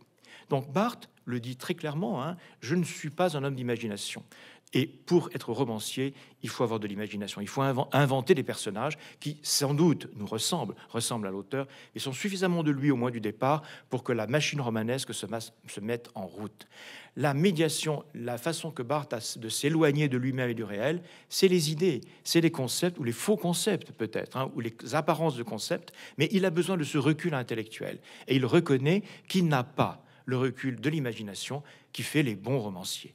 Mais il n'a pas, à mon avis, euh, rendu toutes les armes, parce qu'au fond, il va utiliser cette capacité qu'il a à réfléchir, à analyser ou à mettre en route une pratique analytique, au sens le plus général du terme, pour écrire quelque chose qui va se combiner avec du romanesque, du récit. Dans le passage que je vous avais lu, hein, il y a une petite scène qui se produit au bord du lac. Donc, il va essayer dans ce magnifique texte qui est fragment d'un discours amoureux, de combiner, comme Brecht, et comme il essaie de le faire euh, pour aller contre sa nature, hein, à la fois le récit, le recul du récit, le recul des idées, pour faire passer quelque chose que l'on pourrait appeler le romanesque et le roman. Est-ce que Barthes aurait écrit un roman? Je n'en sais rien. C'est difficile à dire et on ne peut pas, on peut pas le savoir. Mais d'une certaine manière, il aurait écrit un roman qui ne ressemblerait pas à un roman euh, tel qu'on le publiait à l'époque, et je dirais que il faut juger sur pièce. Il aurait écrit un roman qui ressemblerait à La Chambre claire ou qui ressemblerait à Fragment d'un discours amoureux. Et il me semble qu'avec Fragment d'un discours amoureux, on a pu se poser la question de savoir si Vitanova aurait pu être écrite. Vitanova aurait pu être écrite, hein, c'est le roman qu'il envisageait de faire, mais il a déjà écrit quelque chose qui pourrait être le roman absolument inouï hein, des années 70 que personne n'avait écrit avant lui, c'est-à-dire un roman qui joue sur la duplicité du, discours, du théâtre, un théâtre qui recueille l'héritage brechtien, c'est-à-dire un théâtre ou un roman, mais peu importe, on dira un discours qui, jusqu'au bout, maintiendra l'équilibre entre émotion et intellection. Et je crois que dans ce couple-là se trouve toute l'œuvre de Barthes, du moins telle que je la lis, et je crois que je ne suis pas le seul à la lire de cette façon. Voilà, je termine sur ces mots euh, pour ne pas être trop long et je serais très heureux qu'on puisse discuter euh, les quelques remarques que je viens de faire devant vous. Claude Coste, euh, merci infiniment. Merci pour votre exposé très clair. Nous l'avons suivi avec aisance. Alors, je ne sais pas, je me tourne vers nos invités. pas forcément Thomas Claire qui disait tout à l'heure objection, je l'ai entendu, mais Chantal, je vous en prie. Euh, oui, il me semble, il me semble que cette, euh, cette idée justement de Brecht euh, innervant la pensée de, de, Barthes, elle est vraiment fondamentale, c'est vrai, c'est magnifique. Et, que c'est la leçon qu'il a tirée de, Brecht, mais c'est la leçon barthésienne par excellence. Et dans ses hommages, son hommage à Michelet, par exemple, euh, c'est aussi ça qui va reprendre. Comment aller le plus loin possible dans une intellection, tout en la branchant sur euh, une émotivité, qui est quand même, pour, euh, pour moi, par exemple, c'est ça qui m'a fait venir à Barthes. Et c'est et le plaisir du texte en rupture avec ce qui a précédé, sans être vraiment une rupture, puisqu'il va toujours reprendre cette idée de la force de l'intelligence, mais pas comme une puissance dominante, mais comme quelque chose qui élargit, même euh, sentimentalement. Et c'est pour, enfin pour moi, c'est l'essentiel de, de, Barthes, et je trouve que vous l'avez vraiment, euh, j'ai senti comme ça.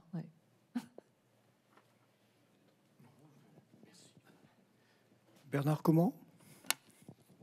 Oui, je trouve ça très stimulant, très juste, euh, le, rapprochement avec, euh, avec Brecht, euh, parce que c'est effectivement ce qui est, ce qui est, ce qui est en jeu.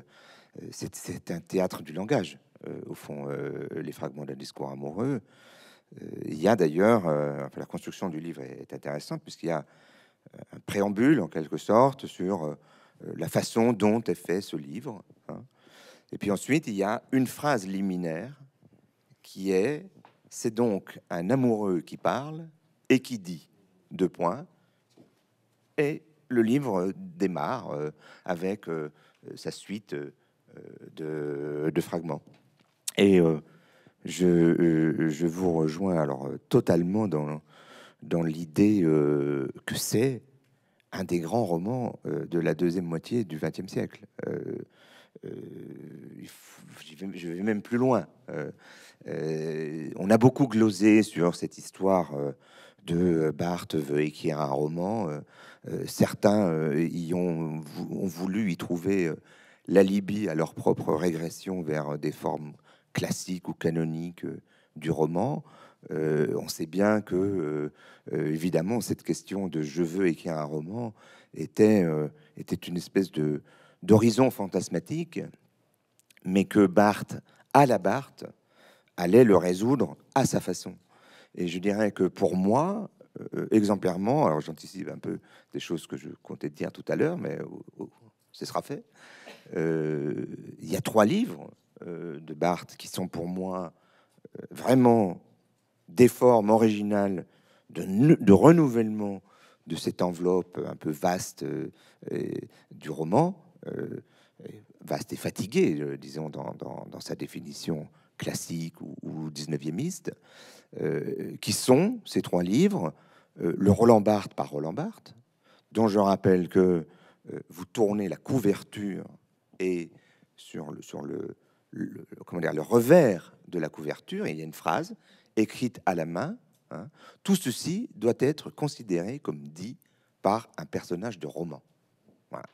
Et puis, vous avez ensuite euh, l'ensemble du livre qui se décline euh, selon euh, ce classement par ordre alphabétique dont on sait, dont on a su par la suite, et notamment dans le, à travers le cours sur, sur le neutre, dont, Thomas Claire a, a assuré une première édition. Euh, que euh, était, c'était un système assez compliqué euh, qui empruntait à la statistique pour aller aussi loin que possible dans l'arbitraire absolu du classement. Hein. mais ce qui est fondamental, je pense, la clé de voûte ou la clé de sol de ce livre, c'est cette, cette, inscription à la main qu'il y a au revers de la couverture. Et puis le troisième livre qui, à mon avis, est, un, là encore un extraordinaire roman, euh, et dans une, à chaque fois dans une réinvention de la forme, c'est La Chambre claire. Euh, la Chambre claire, alors on pourrait dire essentiellement dans sa, deuxième partie, mais au fond cette deuxième partie, euh, évidemment, ne tient que par, que par la préparation, l'ouverture, la catégorisation d'un certain nombre de, choses sur la question théorique de la photo. Euh, j'y reviendrai. Euh, et puis, après, euh, tout à coup, il y a cette deuxième partie où le, je dirais, la langue change, les, formes verbales changent. On, a du passé simple, ce qui est très rare, mais qui est la forme même du romanesque. Et pour moi, La Chambre claire est un, extraordinaire roman de la résurrection. et il le dit lui-même à la fois dans son cours du collège de dans sa leçon inaugurale du, collège de France, mais à l'intérieur même de la Chambre claire, euh, la littérature est cette façon infatigable des hommes au sens large euh, de ne pas euh, se résoudre à la mort, qualifiée d'indialectique, et précisément de dialectiser l'indialectique, c'est-à-dire de dialectiser la mort. Et, euh, ça, c'est l'œuvre de la littérature et c'est l'œuvre du roman.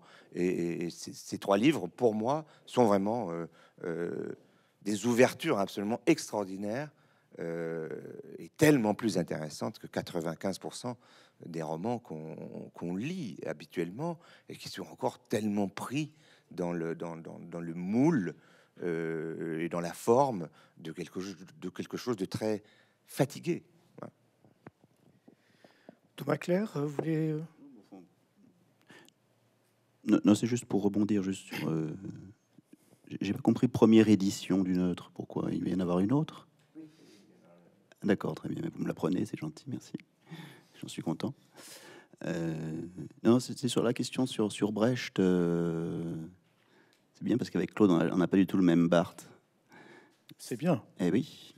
Bah, il y, a quand même euh, une chose qui, qui différencie fondamentalement les deux. c'est que chez Brecht, il y a une dimension politique. Et qui, oui, oui, non, mais, mais bah, oui, oui, mais justement, c'est ce qui, ce qui me pose problème, moi. ce qui pose problème, dans, par, par, exemple, dans le, parce que la référence que tu fais à, à, à Brecht est une, référence finalement formelle. Euh, et voilà. Et, et, en ce sens, bon, euh, voilà. Hum, ces fragments d'un discours amoureux, effectivement, correspondent aussi à une, à une, à une dépolitisation de Barthes, qui, voilà, qui, qui je trouve, euh, voilà, sonne à mes yeux, encore une fois, dans, comme une question démodée. Finalement. Voilà. Mais ça, on peut, on peut mais euh, on peut lire. Dans, le contexte qui est le nôtre aujourd'hui, c'est toujours pareil. On, peut lire un auteur en choisissant de valoriser telle ou telle composante. On peut lire Platon sans croire au ciel des idées. Et on peut lire Brecht sans être marxiste. On peut lire Claudel sans être catholique. Euh, sans nier que Claudel est catholique, ce serait absurde. Et que Brecht est marxiste. Mais on peut, quand Vitesse met en scène le soulier de satin, euh, il ne le fait pas en catholique, il le fait en, athée communiste. Bien sûr, non, mais c'est pas, pas, la, pas le problème de la. lire, ça s'appelle la lecture. Bien, entendu, mais ça, je ne conteste absolument pas ça. Je, moi, je, parle simplement de, euh, de, de, ce sentiment que j'ai d'une dépolitisation des fragments d'un discours amoureux qui correspond à une évolution de, Barthes, au fond, et qui, euh, voilà, me, me, me, pose un problème, en, ce sens que Bon, c'est tout. Enfin, bien sûr qu'on peut lire, on peut lire Brecht sans être marxiste, oui, c'est bien sûr. Euh, on peut lire Barthes sans être barthésien. Bien sûr. euh, dépolitisation, non. Euh, dans, dans, le passage que tu as lu là tout à l'heure, je suis démodé parce que je suis démocrate. Ça, c'est faire de la politique. C'est dans le Roland Barthes par Roland Barthes. Hein. Oui, mais dans, euh, dans, les fiches euh, de. Alors, j'ai le, plaisir hein, mm. euh, de pouvoir lire ces fiches. Hein, j'ai l'autorisation de les consulter. Il y a toute une série de fiches, mais vraiment dans les dernières semaines de la vie de Barthes, qui sont une défense et un éloge de la démocratie, et au sens démocratie représentative, hein, bourgeoise, attention. Et vous voyez le, le, contraste que ça pouvait faire avec le milieu dans lequel il vivait. Et défendre la démocratie, on peut être contre, bien entendu, mais c'est faire de la politique. Donc Barthes ne se dépolitise pas. Il sort, disons, d'une pensée qui était la pensée dominante de son milieu. Mais on peut faire de la politique autrement. Bien ou mal d'ailleurs, hein, c'est autre chose. Mais Barthes dépolitisé, c'est une illusion. Pardon, hein, Thomas, mais euh, Barthes n'a jamais cessé de faire de la politique. Dire qu'on est démocrate n'est pas non plus l'engagement suprême de la politique en 78. Enfin, ah, ben, je trouve que si. Moi, je trouve que si. Moi, je trouve que si. On peut peut-être le contexte extraordinaire. Enfin, bon, euh, je, pense que, je, pense que, je pense que fondamentalement, euh, ce qui caractérise Barthes dans sa dimension politique, c'est l'antifascisme. Euh, lui-même euh, jusqu'au bout euh, affirme ça. il a d'ailleurs, en 77, lors de la conférence inaugurale du Collège de France, cette formule qui va faire beaucoup réagir, qui va susciter beaucoup de, commentaires, d'indignation sur le langage est fasciste, intrinsèquement. il faudrait redévelopper tout ça, hein, parce que c'est évidemment. Mais pourquoi est-ce qu'il emploie ce mot? Alors c'est peut-être euh, lié à une nature, euh, enfin une nature, à une dimension chez lui euh, que je vais évoquer précisément tout à l'heure. toujours que toujours est-il qu'il le dit et il le dit parce que je pense que politiquement, profondément, il est marqué par les années 30, par la montée du fascisme, par les, les, journées, la, la, journée du, du, 6 février 34, les croix de feu. il a assiste quand même euh, à cette, à cette euh, épouvantable implosion de, dans, toute l'Europe, et ça le marque à vie. Et, euh, précisément dans un moment où le militant, disons, le militant de l'époque, est, porteur facilement comme ça d'une. enfin, la militance est une militance souvent extrémiste. se déclarer démocrate dans ce contexte-là, dans cette, euh, je dirais, euh, dans cette jactance militante là, hein, très euh, très définitive, très très sûre d'elle-même, très jugeante, se déclarer démocrate et se déclarer partisan vigilant d'une démocratie participative parlementaire, euh, c'est euh, une véritable euh, dimension politique, oui. Euh, je pense que Bernard, comment euh, Excusez-moi, je ne veux pas vous interrompre et, je, ne cherche pas du tout à, vous réconcilier. D'abord parce que vous n'êtes pas fâché, mais je, voudrais relancer le débat. Et, je prends le risque euh, d'émettre deux hypothèses pour contextualiser cette question du rapport de Barthes à la politique. Euh, première hypothèse on a l'habitude aujourd'hui de dire, selon moi, d'une manière très hâtive, Roland Barthes, on associe Roland Barthes et les grands intellectuels de sa génération à 1968.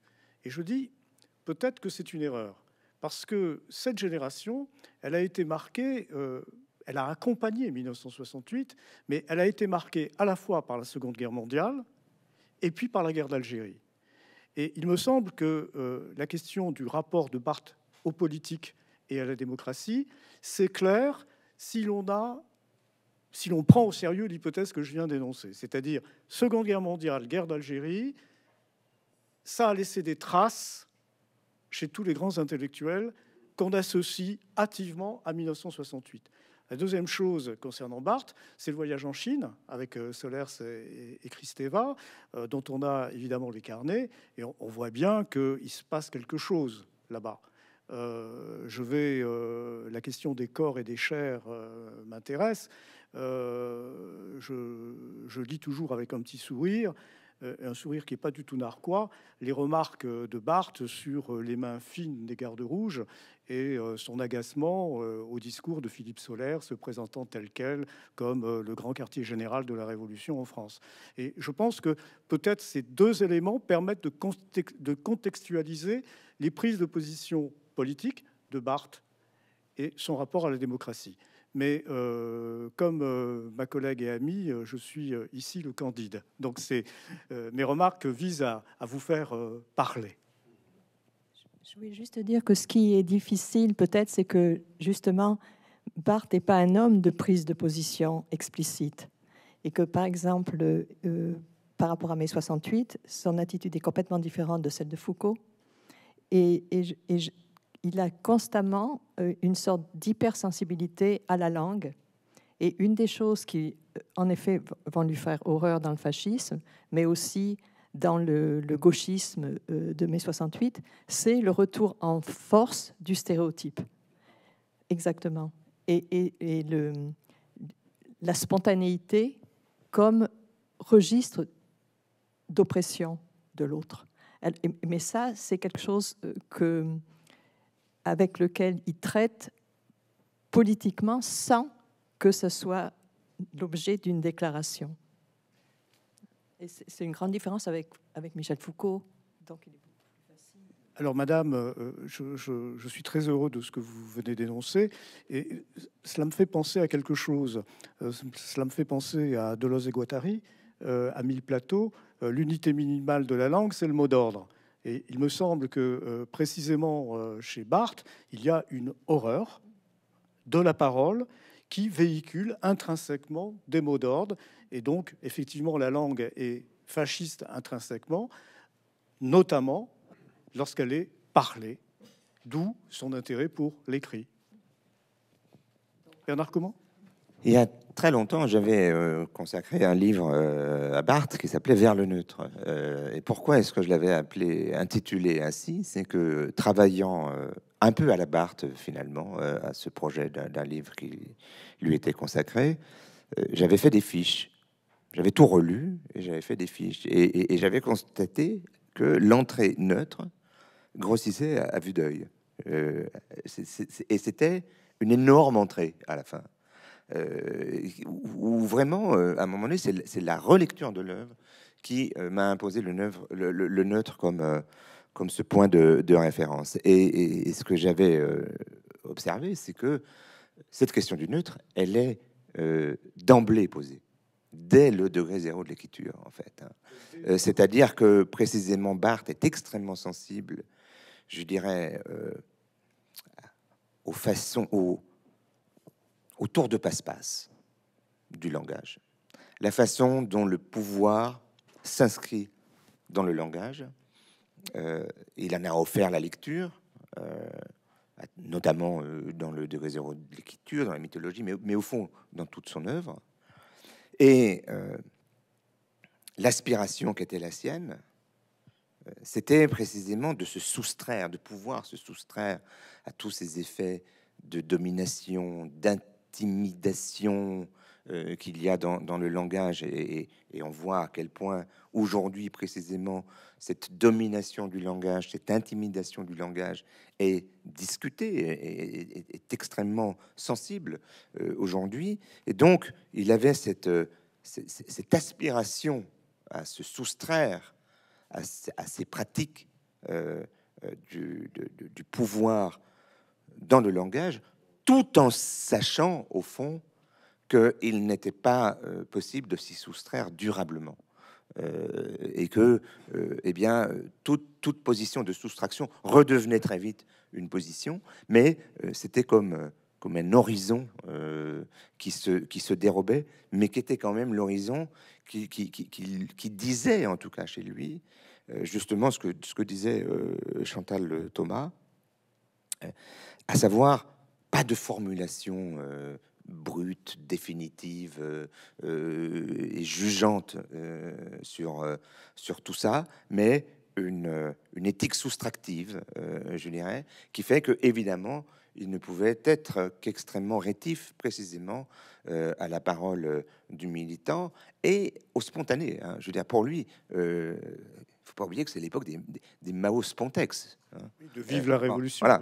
le groupe Alors, euh, Mao le, le, le, côté, euh, le côté spontané, bon, lui, c'est vraiment ce qui est pire. Parce qu'effectivement, comme le rappelait euh, Chantal, dans le spontané, ce qui arrive tout de suite, c'est le stéréotype. Voilà. Et c'est le côté extraordinairement inspirant et, et aujourd'hui encore actif euh, de son analyse sur, euh, sur ces éléments de, de, la langue. La langue, c'est pas une transparence. Hein. Thomas, euh, Thomas ensuite Claude. Oui, non, mais je ne veux pas. Je suis ravi parce que la parole circule. Donc c'est. Bah oui, mais bon, je suis en minorité. mais ça me dérange pas. J'aime bien les minoritaires. oui, non, non, c'est vrai. Je, je, suis pas du tout d'accord avec ce que vous dites dans l'ensemble, mais bon, ça, ça, ça, ça, engagerait beaucoup de débats. Dire que Barthes n'est pas un homme de position, euh, il faut. D'abord il y a plusieurs Barthes euh, quand il euh, quand il fait ses textes, disons de théâtre, il est on ne peut plus agressif et polémique et c'est très bien. premièrement, donc il a aussi il y a une violence chez lui qui est évidemment entièrement gommée aujourd'hui, qui est reconstruite pour, pour produire la figure d'un Barthes libéral. Et c'est vrai qu'il y a un libéralisme de Barthes, et moi aussi, je, je, suis libéral, mais dans un, dans un sens seulement, pas dans un autre, évidemment par conséquent, euh, bon. Donc, euh, oui, oui, on peut reconstruire la, figure d'un Barthes doux, d'un Barthes, d'un Barthes libéral, etc. Mais moi, moi, je ne, je, ne crois que c'est, je, enfin, je crois que ce n'est qu'un aspect de Barthes. Et c'est évidemment cet aspect-là qui aujourd'hui est, est, dominant. Et c'est en, ce sens que je, je, ne suis pas tout à fait d'accord. Et qu'effectivement, toute sa sensibilité contre le spontané, c'est d'accord, je, suis d'accord avec, votre analyse, mais elle, bon, ben, elle elle nous montre aussi comment, comment Barthes euh, passe à côté de certaines esthétiques qui, euh, euh, je, veux dire, c'est pas, pas, parce que c'est politique que c'est que c'est forcément militant. C'est, il y a aussi par exemple une politisation à laquelle il ne, il ne, consent pas, qui est de, qui est de publiciser la, vie privée, par exemple.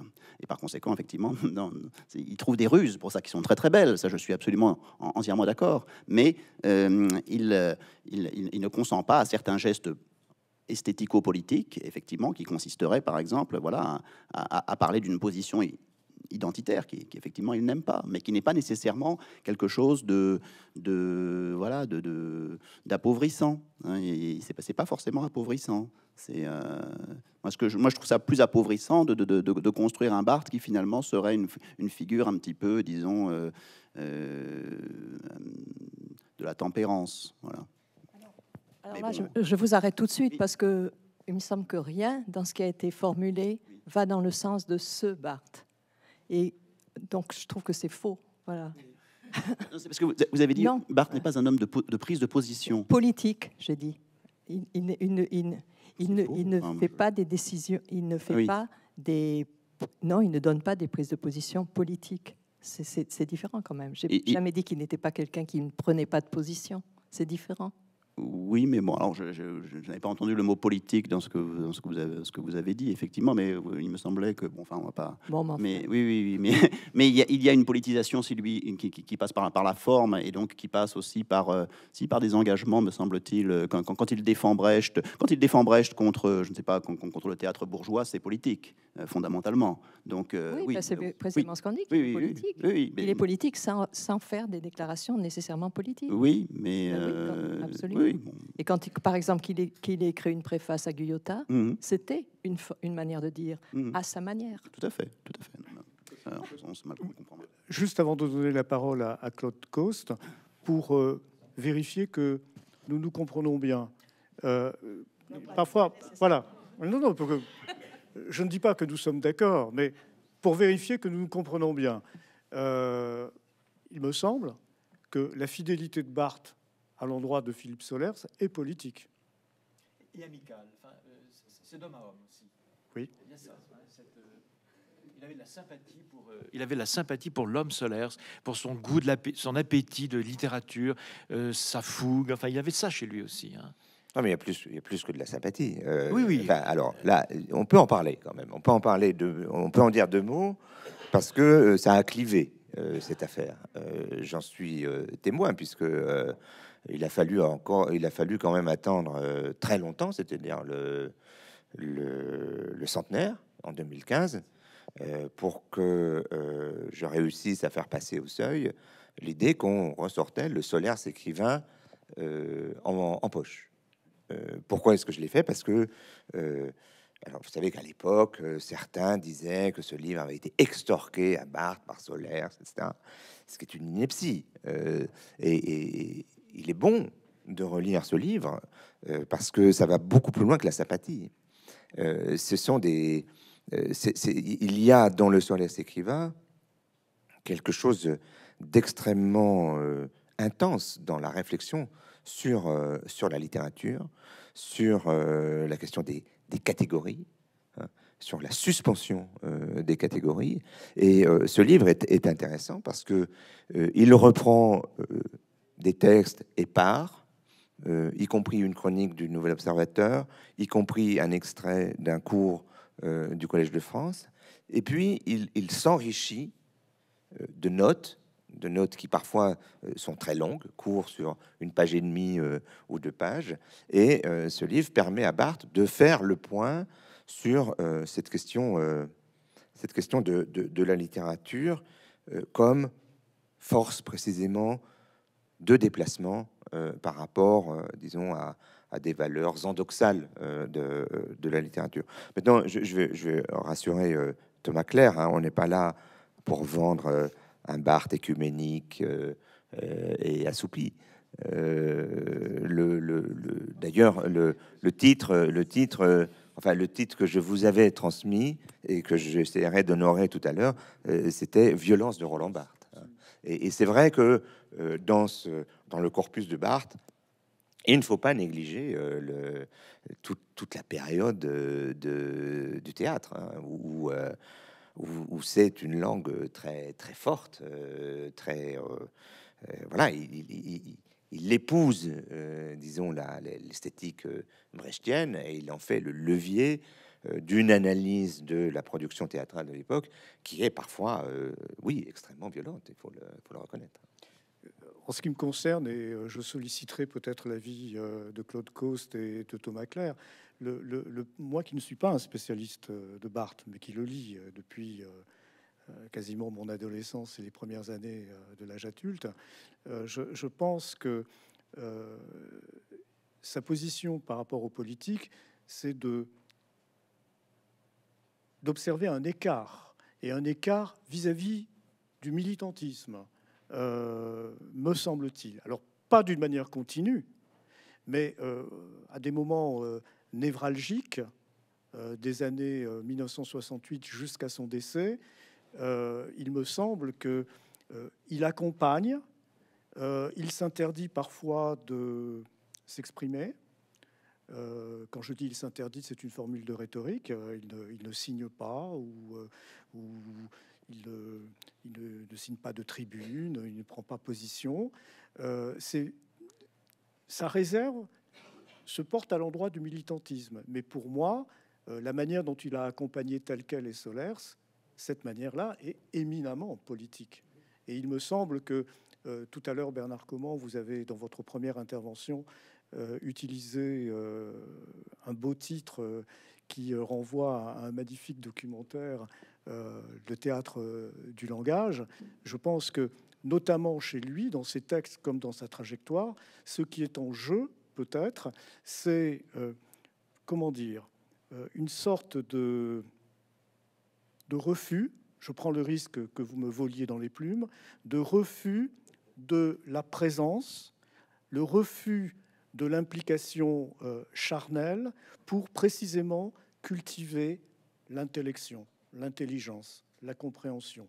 Et donc, euh, ce postulat, ce choix de mettre au poste de commande, pour parler comme en 68, de mettre au poste de commande euh, les idées, l'intellection, l'intelligence suppose un retrait charnel, corporel.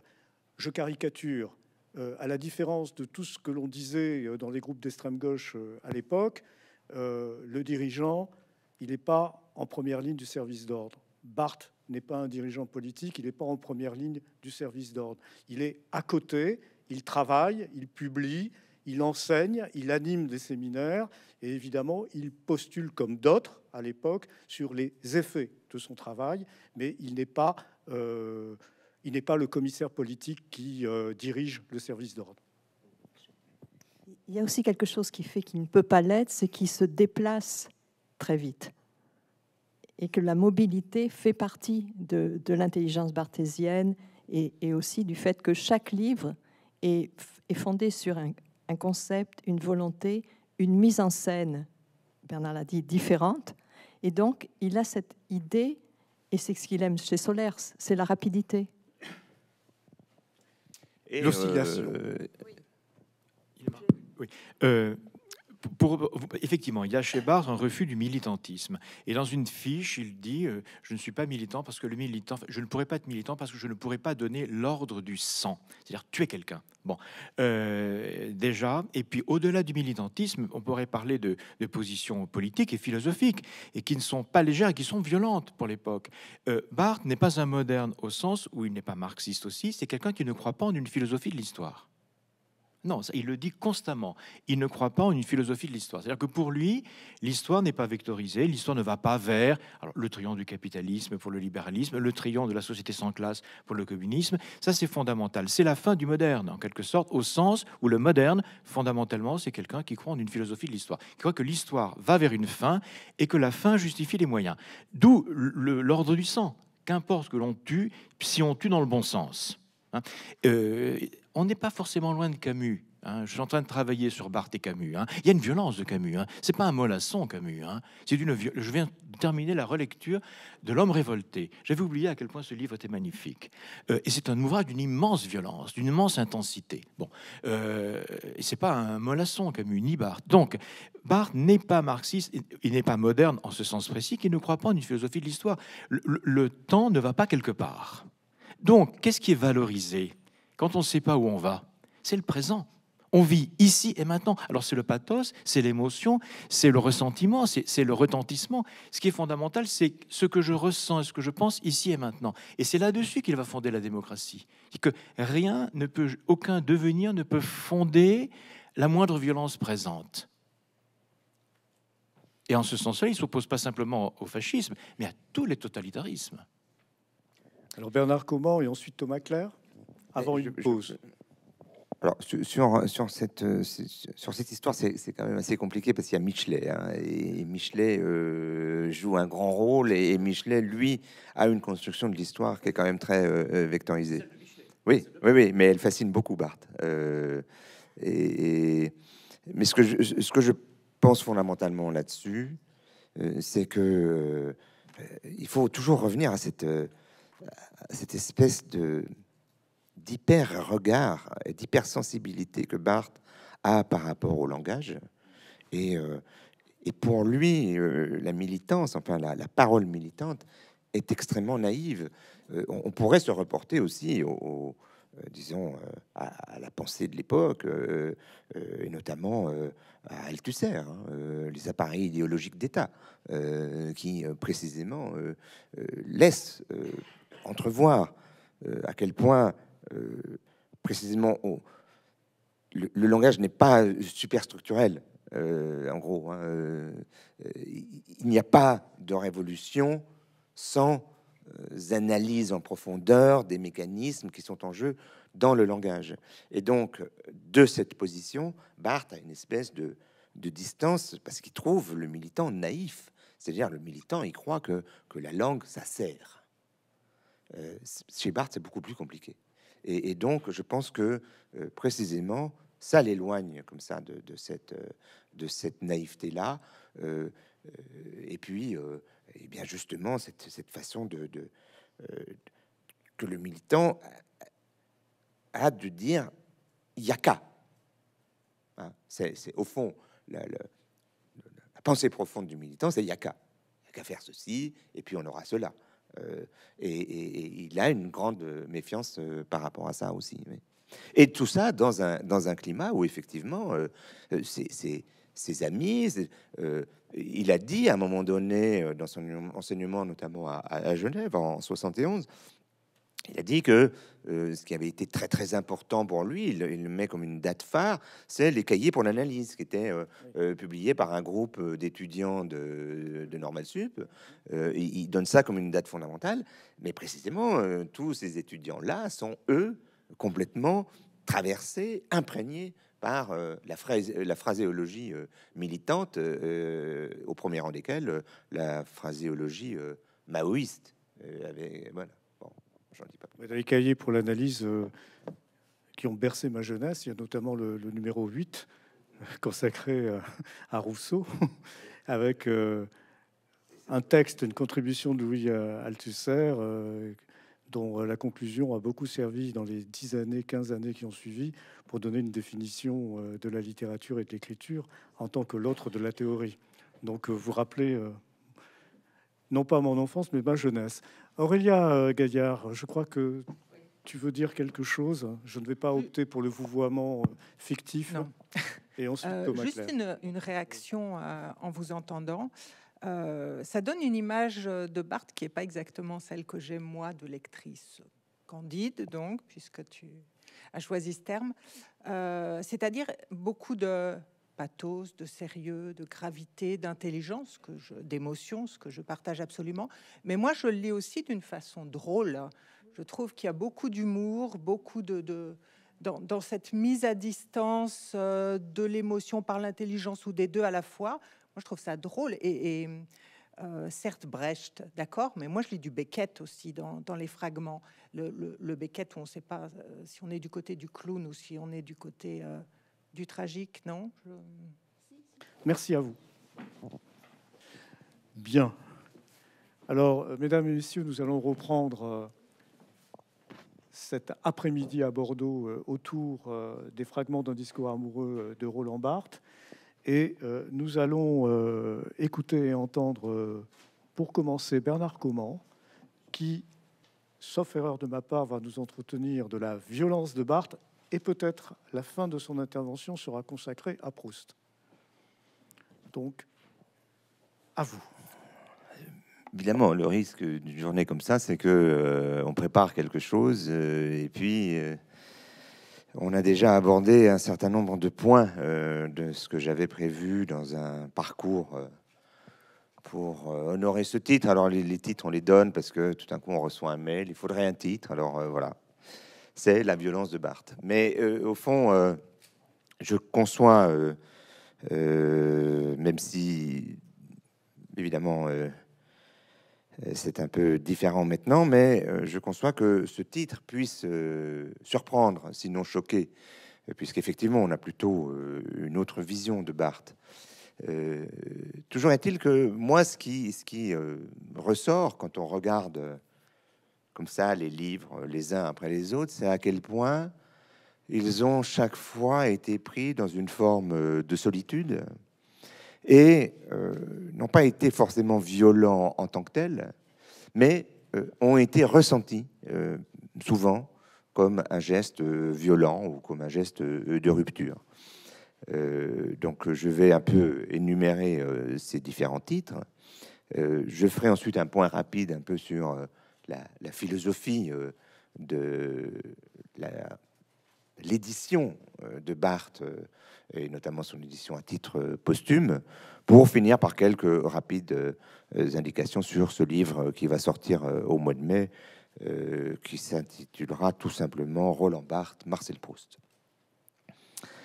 Donc, violence de Barthes, ce que je voudrais dire d'abord, c'est que précisément, il y a à la fois ce que j'ai dit tout à l'heure sur le neutre, hein, cette aspiration précisément à, échapper aux, mécanismes de pouvoir et aux mécanismes de violence qu'il y a, qui sont intrinsèquement euh, liés euh, au langage. Et puis il y a euh, malgré tout aussi une, violence à l'œuvre chez Barthes.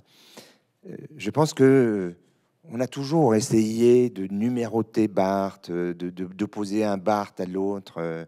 Lui-même, d'ailleurs, l'a fait. par exemple, euh, il est euh, à propos de euh, dans, un, dans un premier temps de, ses textes, de ses commentaires, de ses textes critiques. il est dans une adhésion totale au modèle de Robbe-Grillet. Et à un moment donné, au début des années 60, on lui passe commande d'un essai d'un essayiste ou universitaire canadien, Morissette, sur Robbe-Grillet, et il est embarrassé parce que au fond, le modèle Robillard ne l'intéresse plus à ce moment-là, ne correspond plus à son fantasme de ce que peut faire la littérature pour ouvrir euh, de nouvelles euh, voies, et il va jusqu'à numéroter un, un, numéro 1, qui est bien, et puis un Robillard numéro 2, euh, qui en gros, voilà, déçoit. n'est plus le Robillard intéressant. On sait qu'il va avoir un rapport similaire avec Camus. Euh, dont, il euh, euh, voilà, dont il dit des choses extrêmement belles à propos de, l'étranger. Et à partir de la peste, eh bien, ça, plaît beaucoup moins à Barthes parce que il n'y voit plus cette écriture blanche et au contraire, il y voit le retour du symbole, de la métaphore et il y a une espèce d'adieu assez violent à Camus. Camus va d'ailleurs lui envoyer un, courrier en s'étonnant un peu de, cette euh, violence. Ce qui est certain, c'est que euh, c'est un sujet euh, assez seul, Roland Barthes, notamment au, sortir de la guerre. C'est pas quelqu'un qui fait partie d'une école, c'est pas quelqu'un qui a des, réseaux autour de lui. Et son premier livre, déjà, le, le, place dans une forme de solitude, puisque il va forger lui-même ces termes et ces concepts euh, en, les déplaçant. Je veux dire, quand il, quand il emploie par exemple le mot style, on est très très loin de ce que peut donner comme sens à ce terme euh, quelqu'un comme Léo Spitzer et tous ceux qui s'inscrivent euh, dans, dans le champ d'études ouvert par Spitzer. Il, développe cette espèce de trilogie de style, langue et écriture euh, mais de façon extrêmement personnelle, c'est-à-dire qu'il il crée ses propres instruments, ce qui va quand même définir d'emblée une espèce de d'extrême singularité, mais aussi euh, de solitude, parce que personne n'arrive véritablement, je veux dire, les, les, grandes machines euh, de pensée de l'époque n'arrivent pas à se raccrocher, et lui-même ne se raccroche pas si bien que ça aux machines constituées de l'époque, qui sont les voilà, qui sont les forces discursive qui occupe le champ de, la pensée, le champ euh, de la critique. Je mets à part euh, le Michelet, mais je pense que évidemment le texte qui, euh, d'une certaine façon, est sacrilège pour une société, c'est les mythologies. C'est-à-dire, c'est quand même le roi mis à nu. c'est difficile de résumer un livre comme les mythologies parce que chaque mythologie a sa puissance euh, euh, à elle, mais le geste défini par euh, les mythologies, c'est en gros construit sur une opposition nature-culture, ou plus encore que nature-culture, je pense nature-histoire. Et l'idée de Barthes, c'est de dire que toute société a tendance, a même une tendance obsessionnelle, à masquer les choix historiques qu'elle fait pour les présenter en nature. Ce qui est évidemment un geste euh, extrêmement important, euh, parce que les choix sont discutables, la, nature beaucoup moins. Hein. Euh, et précisément, les mythologies, c'est objet après objet, une et, c'est suivi d'une d'un supplément théorique fondé sur la sémiologie, qui est une science euh, qui apparaît à ce moment-là, hein, euh, qui est encore euh, balbutiante et à laquelle Barthes va contribuer évidemment à donner ses lettres de noblesse, mais qu'il va d'une certaine façon un peu pas abandonner parce que le terme est trop fort, mais dont, il va prendre un peu distance après avoir écrit ce livre, oui, que je ne classerai pas en effet comme euh, le chef-d'œuvre euh, forcément de, Roland Barthes, qui est le système de la mode, encore que ce soit un, livre assez stimulant à bien des égards. Et donc, il a ce supplément sémiologique, mais je dirais que les mythologies, c'est précisément le roi mis à nu de la société française des années 50. Et c'est une, c'est une déconstruction, un dépliage et un éclairage précisément des, mécanismes du sens, des mécanismes frauduleux, souvent, euh, de cette constitution comme ça, des images euh, mythologiques d'une société.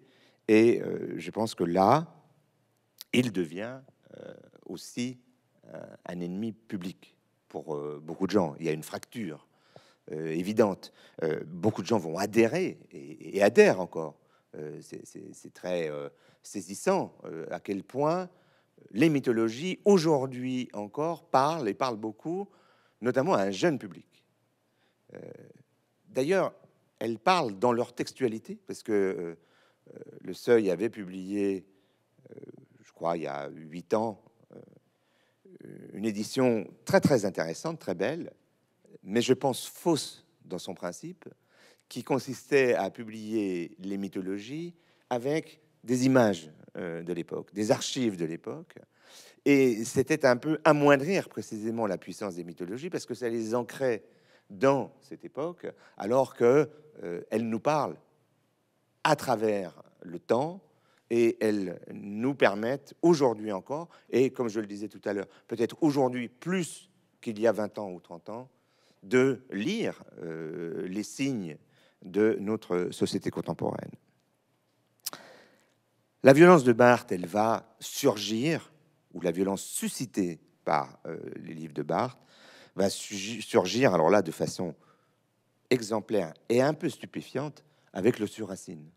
Euh, je dis un peu, un peu stupéfiante parce que le surracine, au fond, euh, c'est un livre modeste dans son intention. Hein. si, on, si on reprend la, première phrase de l'avant-propos, Voici trois études sur Racine.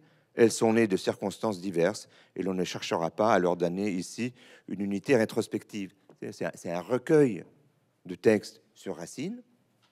Euh, et, ce livre, qui n'a pas de, teneur polémique euh, en, tant que tel, va susciter une haine euh, incommensurable. Alors, il peut y avoir des explications. Euh, on sait maintenant par les archives de la maison euh, d'édition euh, que Raymond Picard voulait faire un Racine, enfin voulait fourguer sa thèse, hein, en gros, qu'il avait un petit peu remise au goût, au goût de la collection Les écrivains de toujours, que euh, cette façon euh, n'avait pas été jugée opportune et satisfaisante par le seuil, le, texte avait été refusé. Il peut y avoir un, peu de ça, mais ça ne suffit pas à expliquer l'extrême violence de, ce texte. violence qui, d'ailleurs, va, chez Barthes, motiver un déplacement à l'intérieur de sa maison d'édition puisqu'il ne faisait pas quand même l'unanimité non plus. Euh, et il va abandonner euh, la collection Pierre Vive, dans laquelle il avait publié à la fois le degré zéro de l'écriture, les mythologies et le sur-racine, pour rejoindre tel quel. Et il y a aussi cette dimension-là hein, qu'il ne faut pas oublier. C'est-à-dire que dans cette solitude, dans la violence des réactions qu'il y a contre le sur-racine, à un moment donné, il faut aussi un territoire. il faut un lieu il faut euh, des, alliés, il faut des complicités. Et je pense que euh, il va euh, vers tel quel, et, ça va, il va se nourrir de tel quel. Il va aussi beaucoup nourrir tel quel, mais il y a aussi ce besoin précisément d'alliance.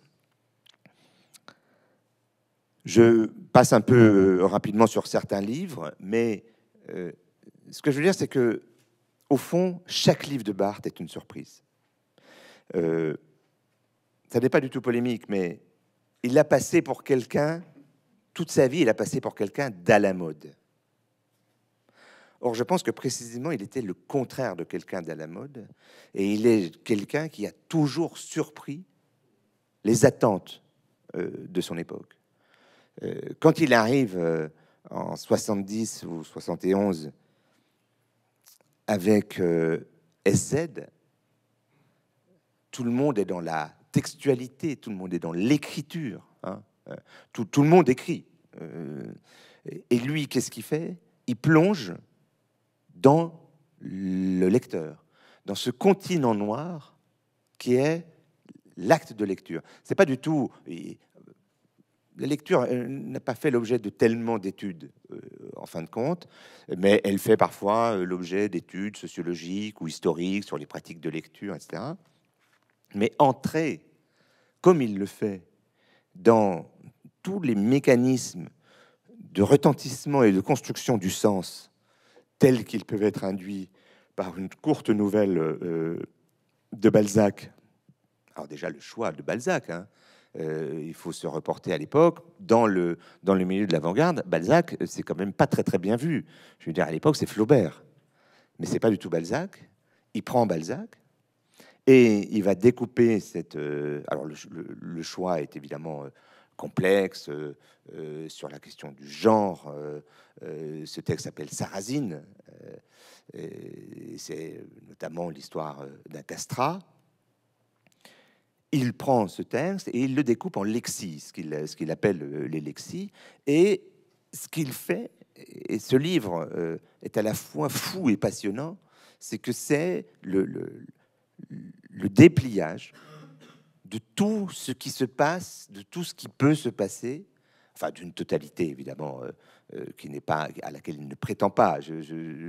cette formulation n'est pas tout à fait juste, mais c'est quand même le dépliage de justement tous les mécanismes du sens, des connotations, des associations qu'il y a phrase après phrase, ou groupe de phrases après groupe de phrases, ou parfois mots Hein, euh, peut se euh, réduire à un mot, et il nous fait entrer dans ce continent noir, énigmatique, qui est précisément euh, ce que, un peu plus tard, l'école de Constance en Allemagne va appeler le, travail du lecteur hein, la place du lecteur. Et il, inaugure complètement cette perspective sur la littérature. Et, ça va créer quand même, là aussi, une certaine stupeur, certains y voyant un objet extrêmement byzantin euh, et très compliqué. Euh, euh, vous, sentez bien l'ironie possible qu'il y a du genre 250 pages pour une nouvelle de 20 pages. Voilà, la doxa juge ça totalement disproportionné, mais ce livre reste comme quelque chose d'extrêmement pionnier et passionnant sur précisément euh, cette expérience que tous nous faisons quand nous lisons un livre, mais dans laquelle très très peu de commentateurs se sont euh, aventurés. Le livre suivant, c'est le Sade Fourlier euh, Le Yola. je crois que le, titre suffit à dire la dimension de, de, provocation, entre guillemets, qui peut y avoir à juxtaposer Fourier, euh, Loyola et Sade. Hein, euh, peut-être que euh, Chantal aura un mot à dire là-dessus. non? et puis, ce livre dont j'ai parlé déjà tout à l'heure, qui est le Roland Barthes par Roland Barthes. Aujourd'hui, on le lit comme ça, comme un geste, voilà, pourquoi pas. il y a eu l'autofiction, il y a eu beaucoup de choses. Mais à l'époque, dans le contexte qui est celui quand même de, la mort de l'auteur, hein, euh, de, enlever euh, justement toute cette congruence de l'auteur, de l'écrivain, etc. Ce geste euh, d'accepter le, pari de, se consacrer un livre à lui-même est un geste extrêmement novateur, je dirais courageux, audacieux, qu'il va accomplir avec, euh, ben, précisément, euh, il va pas tomber dans le piège de la complaisance euh, ni du narcissisme. Il va être conscient, il va entrer dans un territoire archi piégé et il va trouver les moyens de, de mettre précisément ce mélange d'intelligence et de sensibilité dans ce livre du Roland Barthes par Roland Barthes. Les fragments d'un discours euh, amoureux, je crois qu'on en a euh, euh, pas mal parlé, mais c'est vrai que dans le climat intellectuel de l'époque, vous l'avez dit en, préambule, c'était un, un contre-pied total par rapport à ce qui se disait de l'amour qui était quelque chose, effectivement, beaucoup plus de l'ordre de la sexualité. Là, on est dans précisément ce, discours. Il n'a jamais assez insisté sur le fait que c'était le discours amoureux hein, euh, euh, qu'il analysait et qu'il fragmentait précisément pour en faire euh, un certain nombre de figures, puisque de part en part de l'œuvre, on peut dire que le fragment et l'unité d'écriture de Barthes et le, tempo qui lui semble le plus juste, à la fois pour euh, l'expression de, sa pensée et par rapport, je dirais, à l'esthétique euh, euh, contemporaine. Reste la chambre claire. alors c'est difficile aujourd'hui parce que Barthes est mort au moment de la sortie du livre.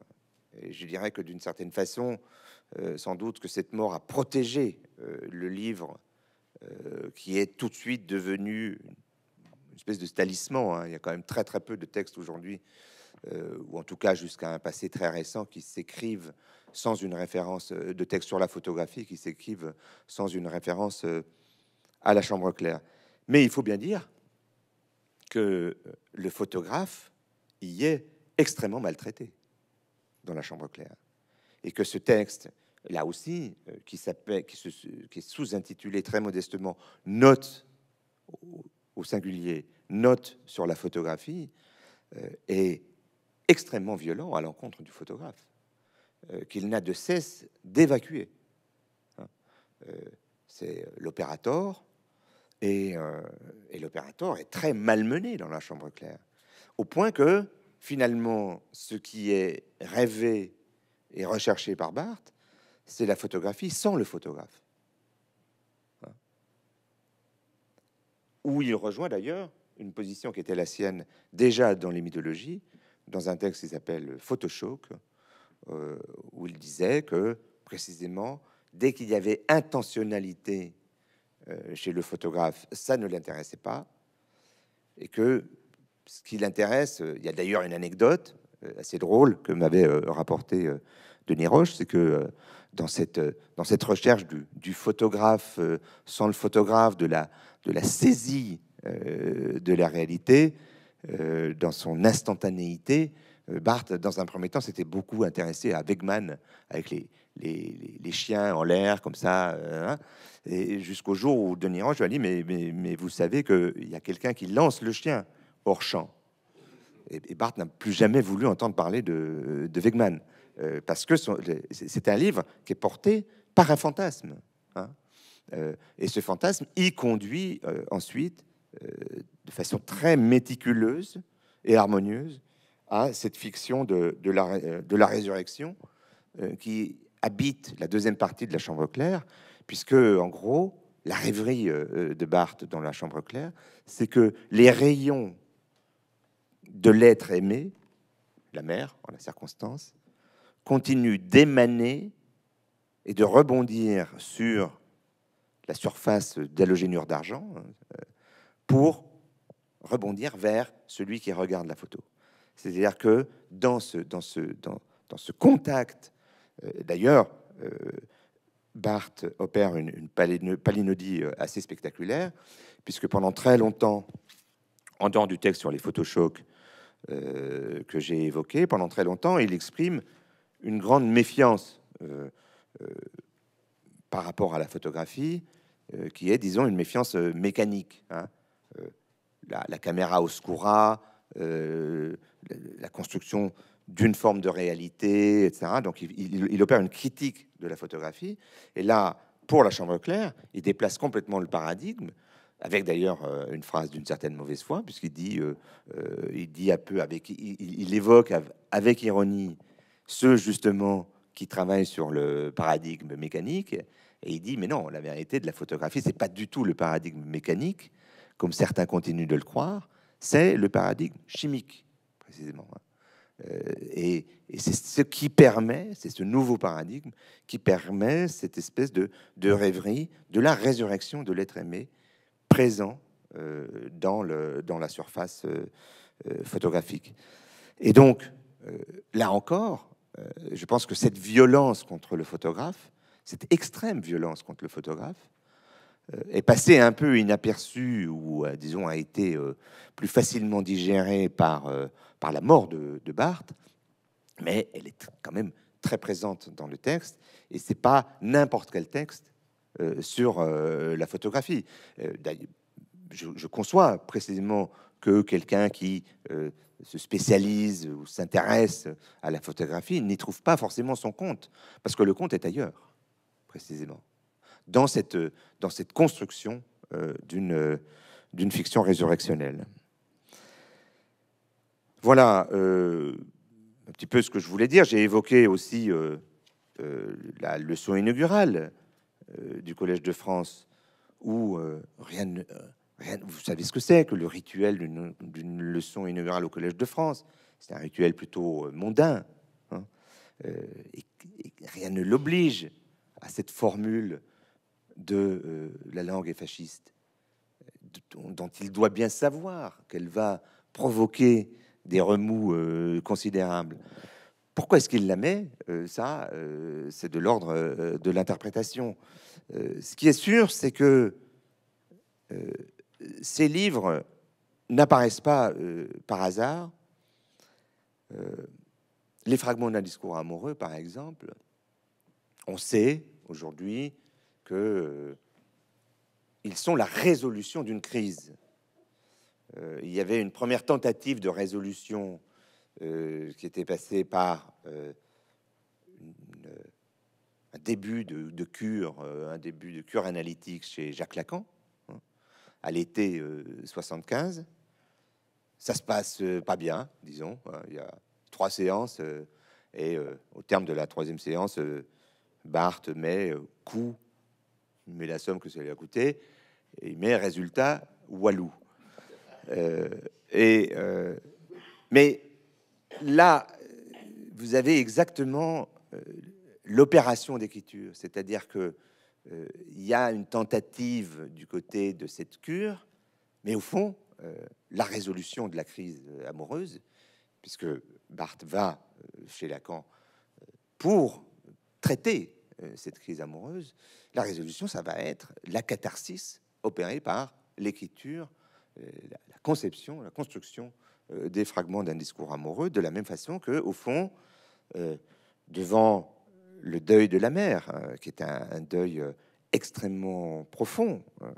euh, le deuil qu'on peut avoir avec qui, avec de quelqu'un avec qui on a passé toute euh, sa vie. Et quand la mère de Barthes meurt en, en, 77, vous savez qu'il prend un certain nombre de, de, notes sur des fiches, et puis ces fiches, il va les réunir dans un dossier qu'il appelle Journal de deuil. Et nous avons pris la responsabilité, euh, avec Eric Marty, euh, il y a une dizaine d'années, de publier euh, l'ensemble de ces fiches, mais et, qui est magnifique.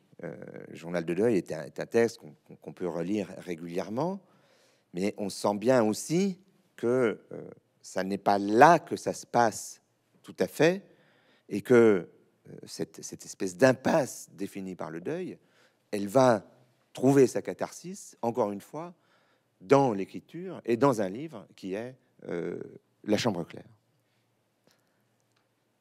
Voilà, euh, c'est quelques considérations sur euh, la façon dont Barthes, au fond, à chaque fois arrive de façon surprenante dans son époque, ce qui n'est pas tout à fait être à la mode, à mon sens.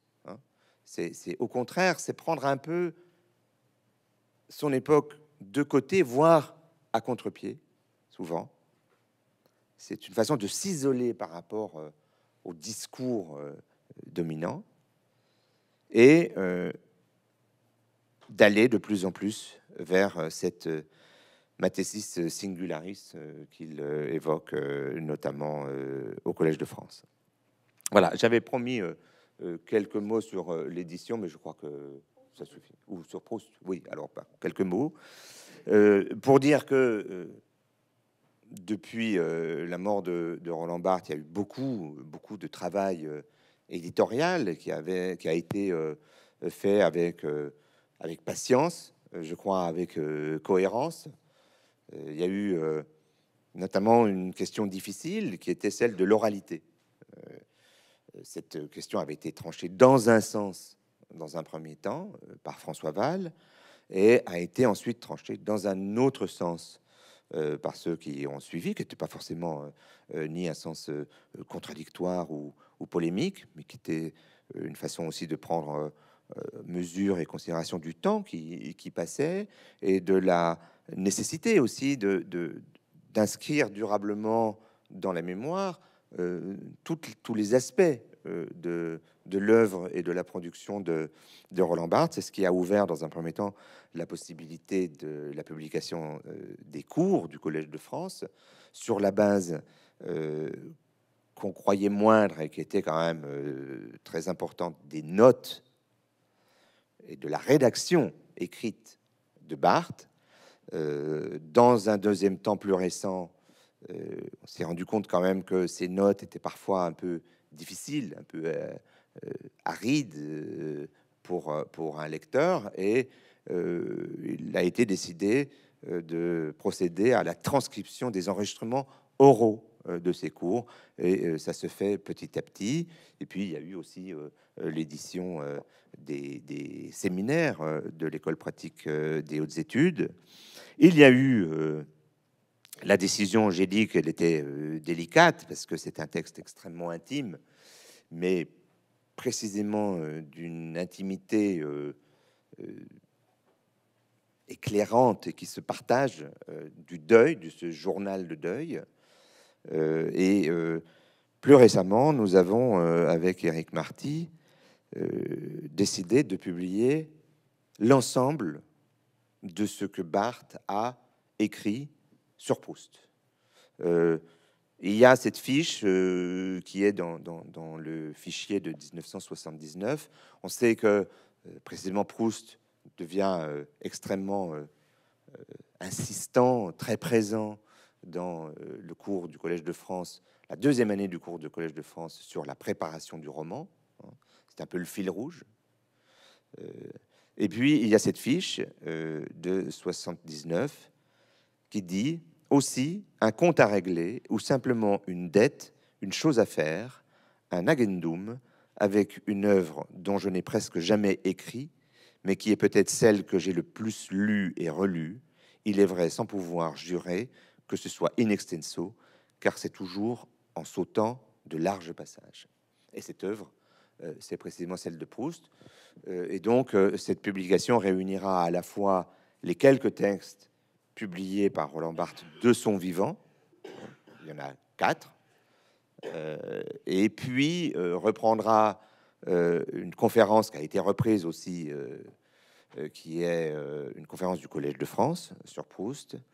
Il y aura aussi une préface, une préface inédite et interrompue à ce qui devait être une nouvelle édition en livre de poche de la recherche du temps perdu à l'époque, mais euh, l'éditeur, le livre de poche, était trompé, trompé dans le calcul des années pour l'entrée de Proust dans le domaine public.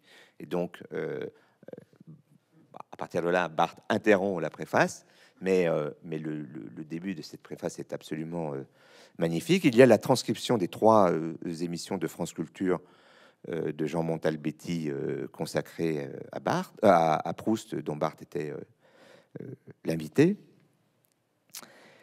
Et puis, il y a euh, un certain nombre de fiches.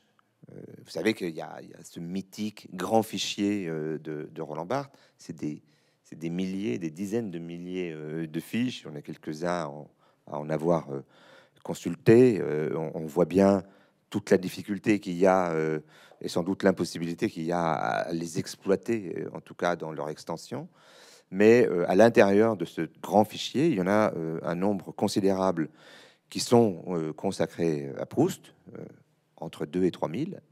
Et nous en avons sélectionné environ 200, qui sont des fiches séminales, je dirais, sur le regard, l'approche que fait Barthes de, de, ce Proust.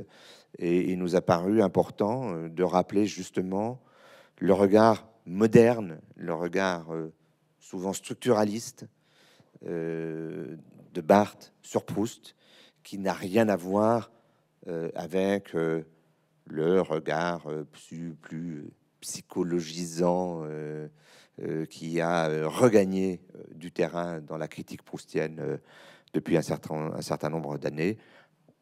Et là, je vous demande juste un peu de patience et, vous pourrez découvrir cet ensemble. Peut-être un dernier mot sur euh, les fragments d'un discours amoureux.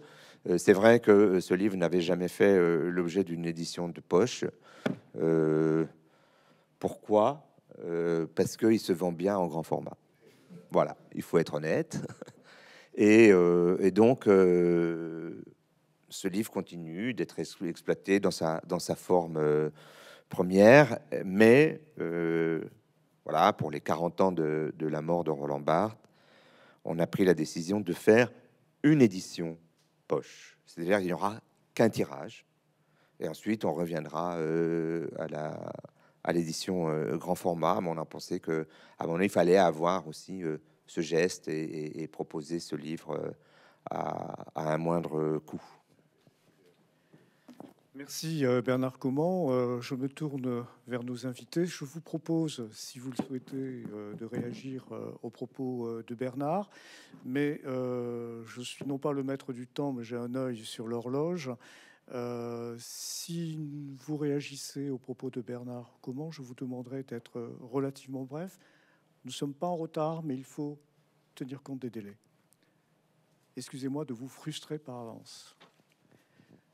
C'est une question que je voulais poser à Bernard sur comment est-ce que tu vois l'articulation entre la, la, fascination de Barthes pour les images et la haine euh, du photographe Puisque le cours, son dernier cours du Collège de France était aussi sur la photographie.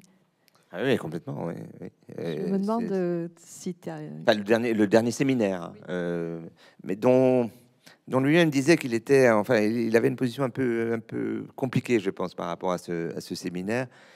Il s'est toujours euh, défendu euh, du fétichisme marcellien, disons, hein, euh, des, modèles, des personnages de Proust, etc. Et au fond, là, il le dit, hein, il dit, tombe complètement dans le marcellisme, c'est-à-dire il, choisit un certain nombre de photos de Nadar, du fils Nadar, sur voilà le les personnages historiques qui ont pu inspirer des personnages euh, de Proust. Et euh, le, séminaire aurait consisté à la projection de ces photos avec le commentaire. On a, ce sera d'ailleurs dans le livre. Il y a les notes, euh, les notes qu'il a prises, mais on imagine que évidemment le développement oral aurait été plus riche que, les, les, seules notes. Euh, je pense que c'est pas forcément contradictoire. C'est-à-dire qu'il euh, y, a une fascination de l'image, euh, mais comme épiphanie. Et, précisément, il ne faut pas que l'épiphanie est, d'origine. Il faut qu'elle faut qu'elle faut qu'elle apparaisse. Quoi. Et, le fantasme de Barthes, c'est ça, c'est la photo en tant qu'elle apparaît. Mais au fond, euh, et c'est vrai que quand même, euh, toute la première partie de, La Chambre claire, elle est très très sévère sur le photographe. C'est-à-dire, euh, dès que, dès que la présence du photographe se fait sentir, il tourne le dos, ça n'intéresse plus du tout. Il, y a une, il, y a une, grande force et d'une certaine façon une grande violence hein, du, du, fantasme chez Barthes. Pour vous paraphraser, il y a une chimie de l'image et non pas une mécanique de l'image. Peut-être quelqu'un d'autre euh, Non? Alors, écoutez, j'ai envie euh, de faire une toute petite transition. Euh, vous nous avez annoncé pour mai prochain ce Roland Barthes, Marcel Proust. Alors j'ai trouvé ceci concernant le narrateur proustien est ce que Barthes pouvait en dire? Le narrateur proustien a peu de rapport avec Werther. Est-il seulement amoureux? Il n'est que jaloux. En lui, rien de lunaire, sinon qu'il aime amoureusement la mère, la grand-mère.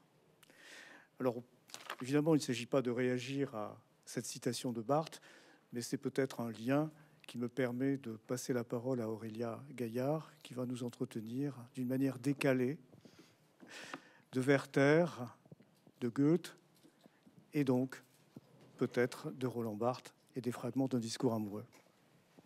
Merci euh, Jean-Michel d'abord pour euh, m'avoir invité, moi qui cumule absolument euh, l'incompétence, le démodé, parce qu'en plus je vais le lire, et le candide qui...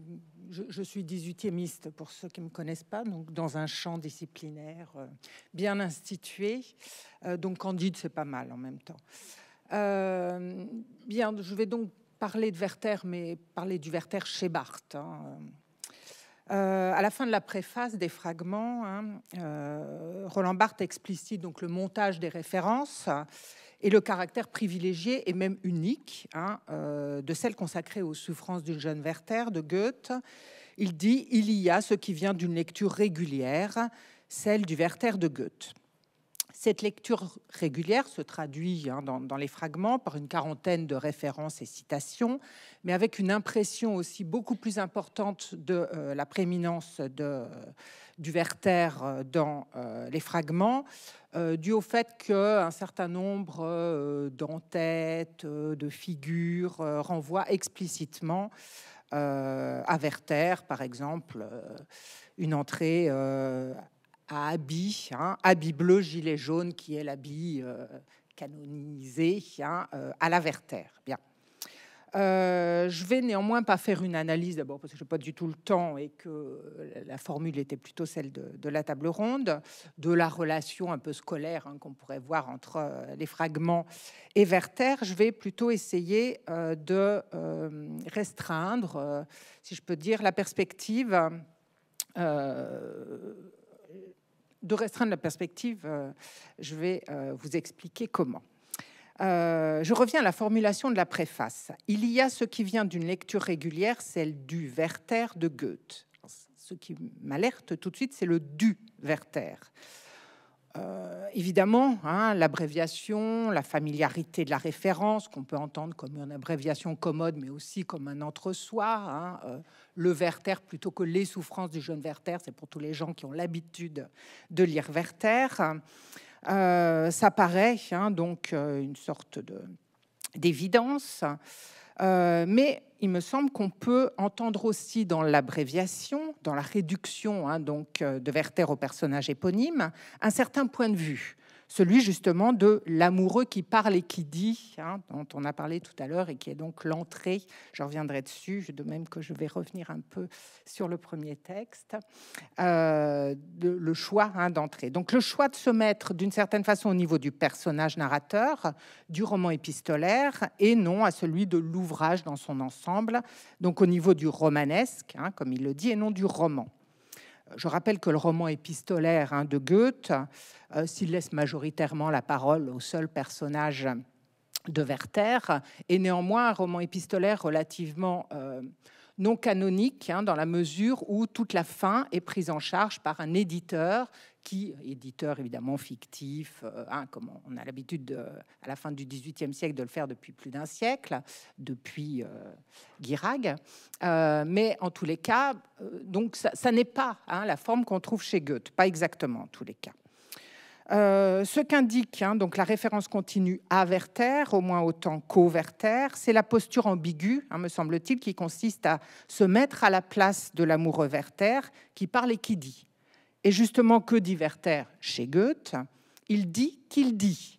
Was ich davon ihr sage, tout ce que je dis là d'elle n'est que du verbiage, de pitoyables abstractions qui ne rendent pas un seul de ses traits. Ce que dit Goethe, hein, enfin ce que dit Werther chez Goethe. C'est cette réflexivité hein, donc du discours amoureux saisie par Barthes chez Goethe et transcrite spéculairement dans les fragments qui m'intéressent. On peut y voir une trace, bien sûr, du retrait de la position d'universitaire, un hein, professeur explicité dans le pacte de lecture, préférer le statut d'amoureux, opter, hein, on l'a déjà dit, pour la simulation plutôt que pour l'analyse. Il s'agit sans doute même, en dégageant la nature langagière du sentiment amoureux, de renoncer, hein, comme l'a dit Claude Cause dans un écrit que j'ai lu, à la distinction entre le discours amoureux et le discours sur le discours amoureux, donc entre les mots, hein, vous avez dit, du professeur et de l'amoureux.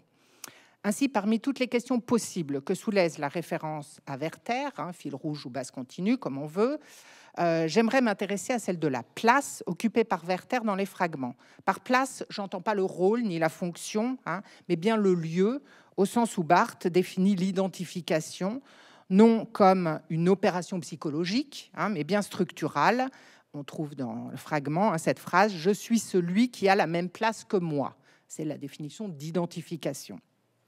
La proposition hein, donc, que je fais est celle-ci. En écrivant les fragments, Barthes invente un dispositif amoureux, c'est-à-dire un dispositif d'identification où toutes les instances énonciatives, octoriales, actoriales, on pourrait dire, coïncident et recouvrent un même lieu, occupent une même place, constituant ainsi le leurre d'une chaîne d'amoureux. Et dans ce dispositif, Werther occupe la place centrale, le pivot, la place des places, si on veut, Hein, euh, je cite euh, Barthes, bah, euh, Werther est pur discours du sujet amoureux. Donc je vais juste développer deux traits de cette sorte de spécularité. Le premier trait a trait au dispositif Werther hein, mis en place dans les fragments, hein, donc au dispositif énonciatif. J'ai appelé ça le dispositif des Werther, hein, précisément parce que entre le Werther, le livre, le Werther narrateur et le Werther personnage, Barthes joue hein, euh, de euh, ces euh, écarts et fusionne les différentes instances. Le pacte donc énoncé en tête du livre hein, est déjà mentionné, c'est donc un amoureux qui parle et qui dit, est immédiatement suivi hein, d'une figure, selon le terme choisi par Barthes, exprimée, on a parlé tout à l'heure, mais pas sous l'angle Werther, par une citation du Werther, explicité par la note infrapaginale, hein, un dispositif très savant, qui est une parole de Werther donnée comme embrayeur de discours, comme le suggèrent les points de suspension, je m'abîme, je succombe, point de suspension, qui ne se trouve pas du tout dans l'original euh, de Goethe, ni dans la traduction de l'original de Goethe. L'incipit a euh, proprement parlé prolonge donc l'énonciation à la première personne et reprend une partie de la citation qu'on voit en italique dans le texte, hein, qui est le signe de la citation, m'abîmer.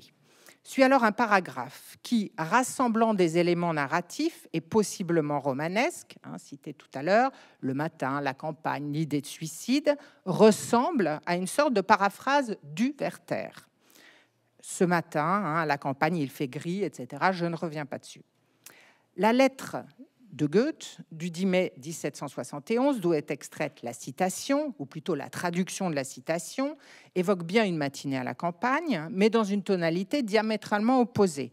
Elle relate le sentiment d'euphorie que ressent au contraire le personnage dans la nature. La citation infrapaginale donc des fragments, extraite de la toute fin de la lettre, omet le connecteur logique avec ce qui la précède, alors qu'elle donne l'impression vous n'avez pas le texte sous les yeux, hein, mais euh, euh, d'être en liaison, puisqu'elle met une majuscule. Hein, euh, en ses pensées, je m'abîme, je succombe, en avec une majuscule qui donne l'impression qu'on est au début de la phrase, mais dans la traduction, on a mais en ses pensées, je m'abîme, je succombe. Et en allemand, on a aber, hein, donc on a bien le connecteur. La seconde citation infrapaginale, hein, j'arrêterai sur tous ces détails, mais je vais en tirer quelque chose, rassurez-vous, euh, est un montage reposant sur la répétition du terme abîme, qui renvoie donc à la titrologie hein, du fragment s'abîmer. Euh, je précise que le terme allemand correspondant, am Grund, n'est pas présent dans le texte allemand, que dans cette langue, les deux extraits qui sont montés hein, par Barthes euh, ont des formulations complètement différentes et euh, que les seules deux traductions, que seules les traductions hein, ont un air de ressemblance, et encore seule la traduction que euh, lit euh, Barthes, c'est-à-dire l'édition au Biais-Montaigne, hein, qui est épuisée maintenant. donc, j'en ai pas besoin finalement. Merci. et donc, dans les deux cas, hein, ce mot abîme n'est pas dans le texte de Goethe. Que tirer de tout ceci? D'abord que le dispositif produit bien une équivoque on entend à égalité les deux voix de l'amoureux et du critique. Cet équivoque repose sur la complexité la virtuosité du passage de la première à la troisième personne. La citation est à la première personne, mais le geste de celui qui la cite en note infrapaginale ou marginale, puisqu'il y a aussi la référence de Werther en, colonne euh, en marge, ou de celui qui dit au début c'est un amoureux qui dit, est à la troisième personne. L'équivoque repose également sur le feuilleté constitué par tous les jeux, JE, hein, toute la gamme des amoureux, des Werther, narrateur personnage de l'auteur, le narrateur des fragments. Hein. Euh, quand il est dit il me prend parfois l'envie de m'abîmer, m'abîmer en italique, qui est ce me? Est-ce que le premier me me prend est le même que le me de m'abîmer? C'est pas sûr du tout. Hein, et on sait hein, que ce va-et-vient entre troisième et première personne pour le Werther ou euh, le livre Werther euh, est une constante hein, dans l'ensemble des fragments. Euh, bon, je vais, je, vais, passer là-dessus. Je pense que c'est à peu près clair. Je ne veux pas allonger, puisqu'on est un peu. dès le second chapitre, qui ouvre aussi sur une référence, justement pas une citation, une référence au Werther et pas une citation de Werther parlant. L'énonciation est la troisième personne et la posture hein, est bien celle du professeur. Hein. et cependant, cette figure classique dans on ne la trouve pas. Hein. donc là, on est vraiment dans le cadre d'un cours.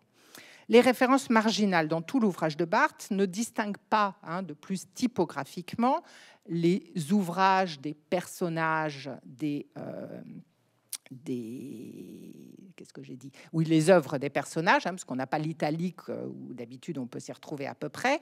Et dans le cas de Werther, étant donné qu'on n'a pas les souffrances du jeune Werther, mais juste Werther, on ne sait pas en fait quand est-ce qu'on est dans le cadre d'une citation du personnage ou dans le cadre d'une citation du livre. Hein. C'est le cas, euh, pas, seulement pour Werther, hein, c'est un cas général typographique dans le livre. Bien. Ensuite, le dispositif produit bien un effet de l'heure, qui, qui, est euh, un concept essentiel chez Barthes. Dans l'exemple de Linkipit, la référence à Werther joue le rôle, je dirais, d'un appât. Le lecteur endosse le rôle romanesque, théâtral hein, aussi, de l'amoureux, par identification, non pas tout à fait avec Werther, mais avec le l'heure de Werther. Le début ressemble aux souffrances du jeune Werther, à la plainte du jeune Werther, mais n'est pas de Goethe.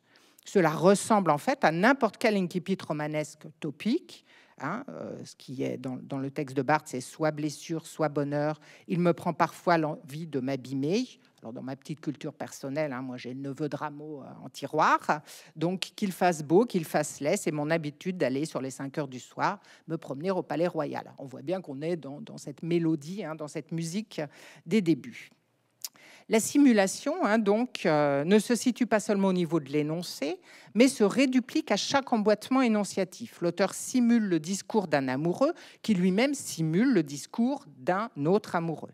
Il est donc peut-être remarquable hein, que ce dispositif se mette en place à l'occasion du mot abîme, hein, dont on sait qu'il relève euh, d'un feuilleté euh, polysémique tout à fait habituel, canonique, surtout qu'avec alors, abîme avec la mise en abîme, hein, qui est le terme de, l'héraldique qui euh, implique hein, cette euh, réflexivité, spécularité, mais aussi on a les deux sens du mot abîme, hein, ça abîme comme dans un gouffre, et m'abîme, euh, m'écorche, me, me, corrompt.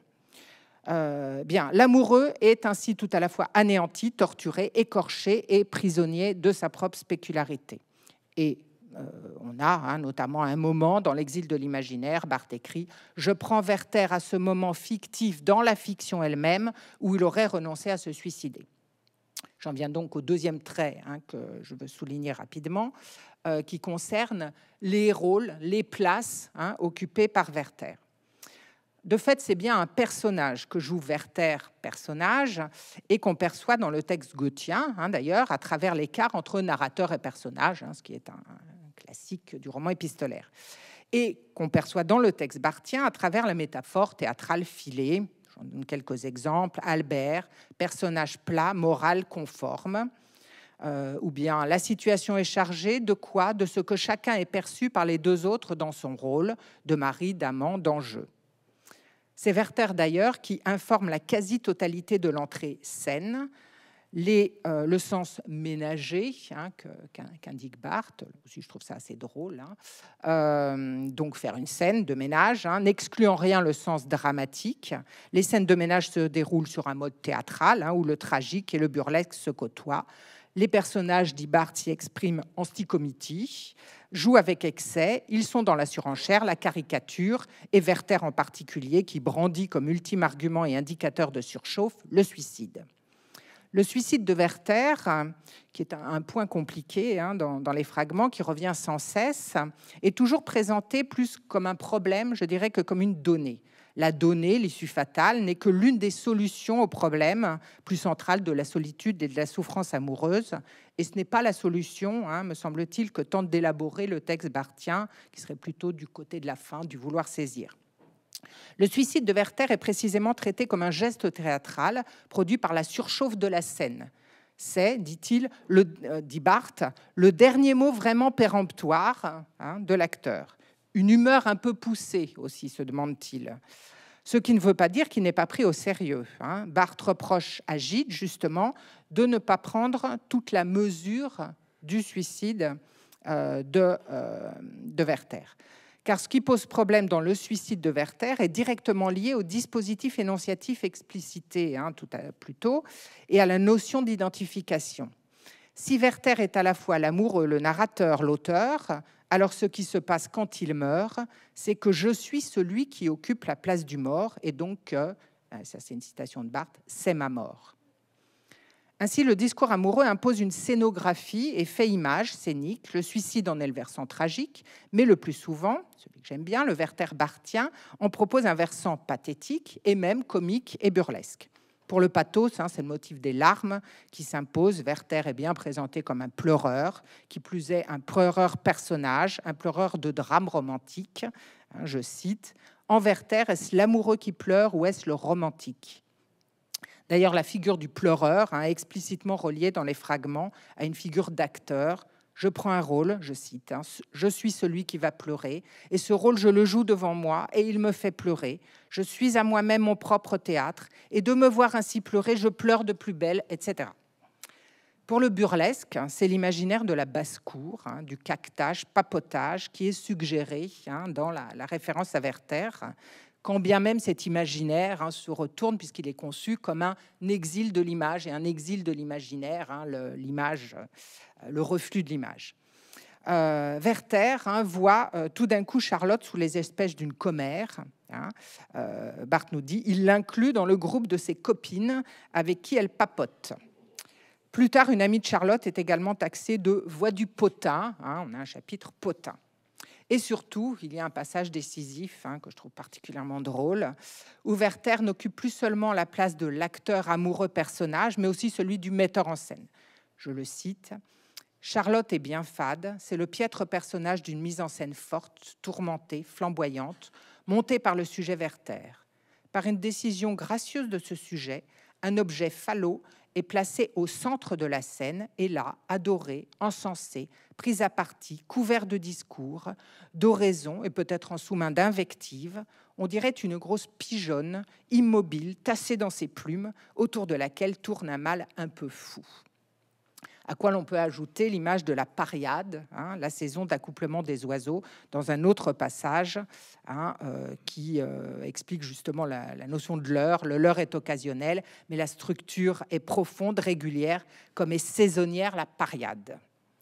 Ainsi, Werther à la fois joue et met en scène Werther. Werther, en enfilant une dernière fois avant de se suicider le fameux habit bleu gilet jaune, se travestit en amoureux ravi et s'assignant la place de l'amoureux archétypal, voire du mort, il lance la chaîne des amoureux. Le Werther narrateur épistolier va même jusqu'à dénoncer son personnage. Je cite Barthes. Werther a décidé de mourir. Non, je cite pas Barthes. Euh, si, mais moi je m'y perds. Werther, pardon, a décidé de mourir, euh, vu, la tonalité, c'est du Barthes. Je te l'écris sans exaltation romanesque, tranquillement. Quelques mots rapides de conclusion. Ce que fait Barthes avec Werther, avec les Werther, hein, je dirais, c'est bien selon moi inventer une place que euh, toutes, toutes les instances puissent occuper de façon à supprimer toute distance, non pas entre soi et les autres, mais entre soi et soi et les soi, à la façon, si l'on veut, d'un Rousseau. Il y a peut-être un rêve de transparence, hein, le degré zéro, chez Barthes comme chez Rousseau, mais même si, ou peut-être à cause de cela, euh, Saint-Preux n'est pas mentionné, hein, n'est mentionné qu'une fois ce qui, m'a étonné, hein, parce que c'est quand même un grand lecteur de Rousseau. En définitive, ce que fait Barthes avec Werther, c'est peut-être ce que fait Flaubert avec Bouvard et Pécuchet, selon Barthes dans Mythologie, produire un mythe artificiel, se saisir d'une parole mythique déjà constituée, qu'il appelle la parole bourgeoise hein, de Bouvard et Pécuchet et la Bouvard et Pécuchéité, moi je trouve ça drôle quand même, pour en faire un mythe au second degré. Le couple, hein, parce qu'il est présenté comme un couple, il apparaît dans les fragments, hein, Bouvard et Pécuchet, le couple amoureux. Bouvard et Pécuchet euh, apparaît donc deux fois dans les fragments, de, façon suffisamment inattendue peut-être pour que cela alerte. Dans Tout amoureux, hein, dit Barthes, quelque chose de Bouvard et Pécuchet, et il décrit la scène de rencontre sur un banc boulevard Bourdon comme une scène de rencontre d'amoureux. Hein. Le mérite de Flaubert, hein, euh, c'est, euh, dit Barthes, dans Mythologie, d'avoir donné au problème du réalisme une issue franchement sémiologique. Hein, euh, je dirais qu'on peut dire que le mérite de Barthes avec Werther, c'est d'avoir donné au problème du romantisme une issue franchement sémiologique. Voilà Merci beaucoup Aurélia euh, pour euh, ta lecture précise et décalée. le contrat est, rempli. Peut-être parmi nos amis une, réaction Oui, Claude Coste? Merci. Une petite référence. Vous avez tout à fait raison de parler de Bouvard et Pécuchet. Et la scène avec la grosse pigeonne me fait penser à l'accouplement des dindons. Euh, vous savez, dans Bouvard et Pécuchet, hein, qui est une scène euh, grotesque et sublime en même temps, il y, a cet aspect-là, hein, une animalité euh, ridicule. Hein. Et puis la question que vous posiez sur l'humour de Barthes. voilà, je, je, je, repense ce que vous disiez. Est-ce que Barthes avait de l'humour? Mais oui, oui et non, je dirais. Il y a de l'humour dans son œuvre. Il peut y avoir du grinçant, mais fondamentalement, je crois qu'il y avait chez lui une dimension tellement écorchée qu'il aurait eu du mal à se distancier, parce que c'est ça avoir de l'humour, c'est se distancier soi-même. Et sa forme de distanciation par rapport à lui-même, soit ce sont les idées, c'est ce que je disais, l'autre c'est la séduction. Alors il peut y avoir une séduction par l'humour, hein, mais je pense à une fiche, euh, comme je refuse la maîtrise, il ne me reste plus que la séduction. C'est une belle, belle fiche. Hein. Je refuse la maîtrise, il me reste plus que la séduction. Et je crois que son moyen de défense est davantage dans la séduction, le désir de plaire, que euh, dans un humour qui serait celui bah, de Flaubert, par exemple. Hein. Euh, mais il y a des humours, il y a de l'humour ponctuellement, mais je crois que fondamentalement, euh, c'était pas un homme dont j'aurais dit qu'il avait de l'humour, si vous voulez. Hein. Je parle pas de, enfin, d'après ce que peut dire l'heure en quelque sorte. Il y a une gravité, hein, il y a une espèce de euh, d'écorchure profonde qui fait que voilà, je, le lis comme ça, si vous voulez. L'amour n'est que de surface. L'humour n'est que de surface, pardon. je lis la Je, je ne dis plus rien. Non, non, euh, cela commence à, à, être intéressant là. Il faut procéder par association. Juste Aurélia. je peux réagir. Euh, ce que je voulais dire, c'était c'était pas tant. Euh, d'abord, je, connais beaucoup moins Barthes, mais euh, c'est pas tant qu'il aurait une forme d'humour, c'est que le texte produit par les phénomènes justement de distanciation de niveau, etc., des formes de drôlerie en fait. On n'est pas du tout dans une écriture ironique à la Flaubert, mais effectivement, euh, bon, la grosse pigeonne, euh, c'est pas ton, c'est pas gentil. Une autre remarque Non. Alors peut-être, euh, si vous en êtes d'accord et si Chantal Thomas est d'accord, nous pourrions lui donner la parole. C'est de cette table ronde la dernière intervenante. Donc vous allez nous entretenir du fragment notamment, notamment du fragment. Tenez, je vous passe le micro. Alors, je me suis aperçue euh, au moment où j'ai été informée d'une réédition de Fragments d'un discours amoureux que j'étais très émue et heureuse de, cet événement, alors que c'est un livre euh, qui, de tous les livres de Barthes, m'est le plus étranger. Et, et quand je l'avais lu, quand c'est un livre au fond que je ne comprends pas bien. Et je me souviens que j'avais écrit à Roland Barthes, je vous ai lu les pieds dans l'eau, et il m'avait dit c'est gentil. Sous-entendu, vous avez vraiment rien d'autre à dire. Et, si je suis si contente que ce livre existe sous une autre forme, c'est, euh, me suis-je dit, que j'avais participé au séminaire et, et que la manière dont ce livre a été fait, je veux dire en tous les cas le prétexte, est réellement euh, singulier, puisque dans ce séminaire, qui était l'année 75, euh, je pense, ou 76, euh, Barthes expérimentait à la fois une technique d'enseignement, un certain laboratoire d'écriture, puisque depuis SZ, il se servait des séminaires pour aboutir à un livre qui à la fois incluait la parole des participants, mais la fondait en autre chose, et une pratique de la séduction qui était tout sauf politiquement correcte. Alors, euh, je, vais voir donc le fragment par rapport à la continuité et une continuité euh, toujours ailleurs.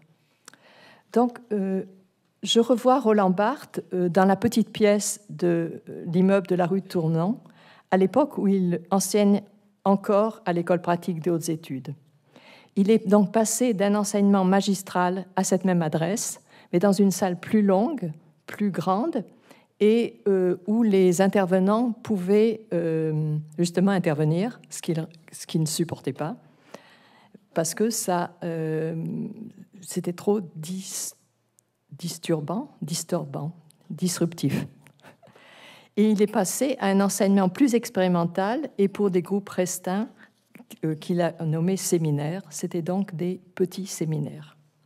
Donc nous sommes une dizaine assis autour de la table avec nos cahiers, nos stylos, et on est tout prêt à prendre des notes.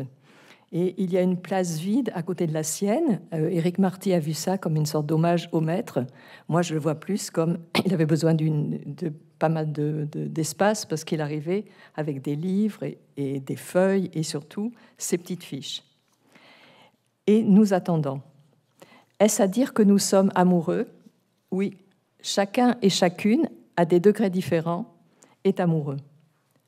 Et surtout, je pense, ceux ou celles qui s'en défendent ou qui ne se sentent pas concernés.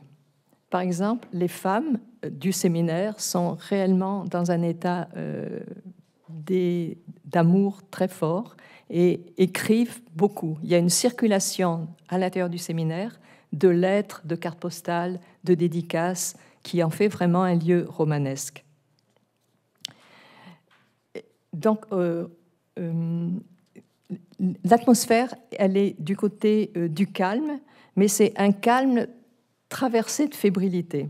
C'est un peu quelque chose comme avant un concert, mais euh, la chanteuse serait proche de nous, proche et inaccessible à la fois.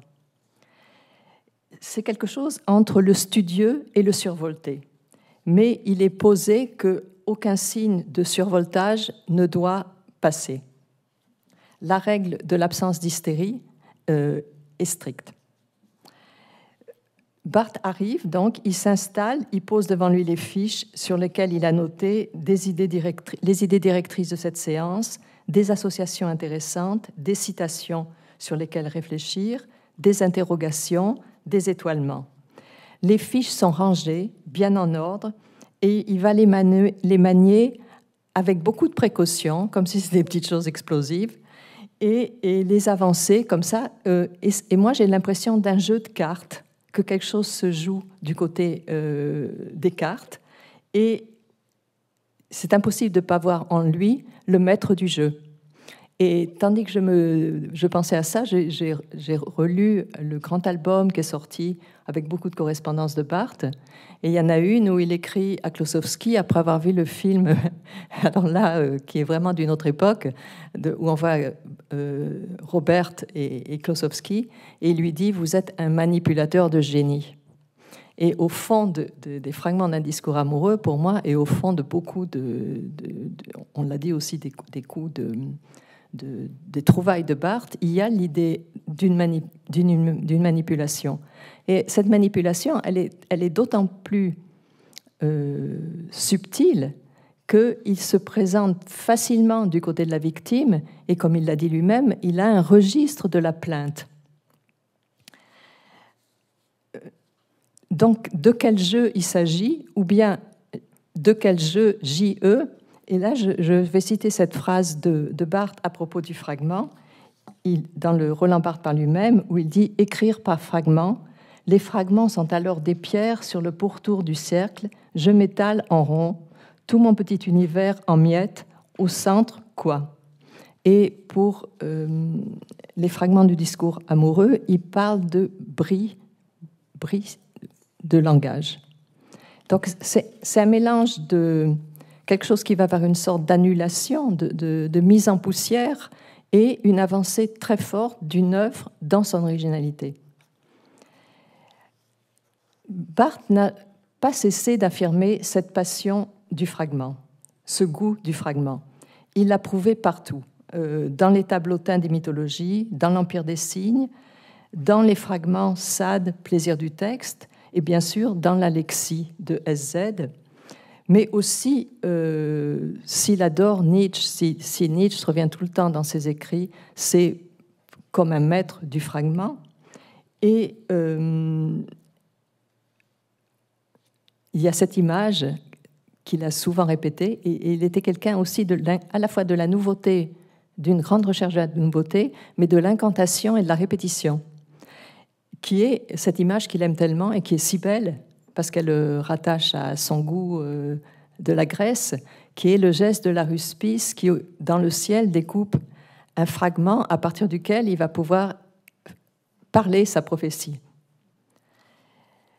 Et euh, on peut à l'infini multiplier l'exemple de son goût du fragment. Il y a ce très joli éloge du timbre poste où il dit Notre timbre est la miniature d'aujourd'hui. Un album de timbre-poste, c'est un peu le livre d'heures des temps modernes.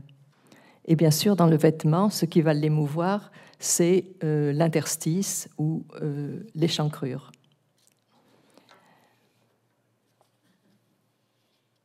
Alors, euh, le caractère expérimental du séminaire de Barthes du temps de l'écriture des fragments du discours amoureux, ça tient à une pratique qui va mettre en avant le fragment.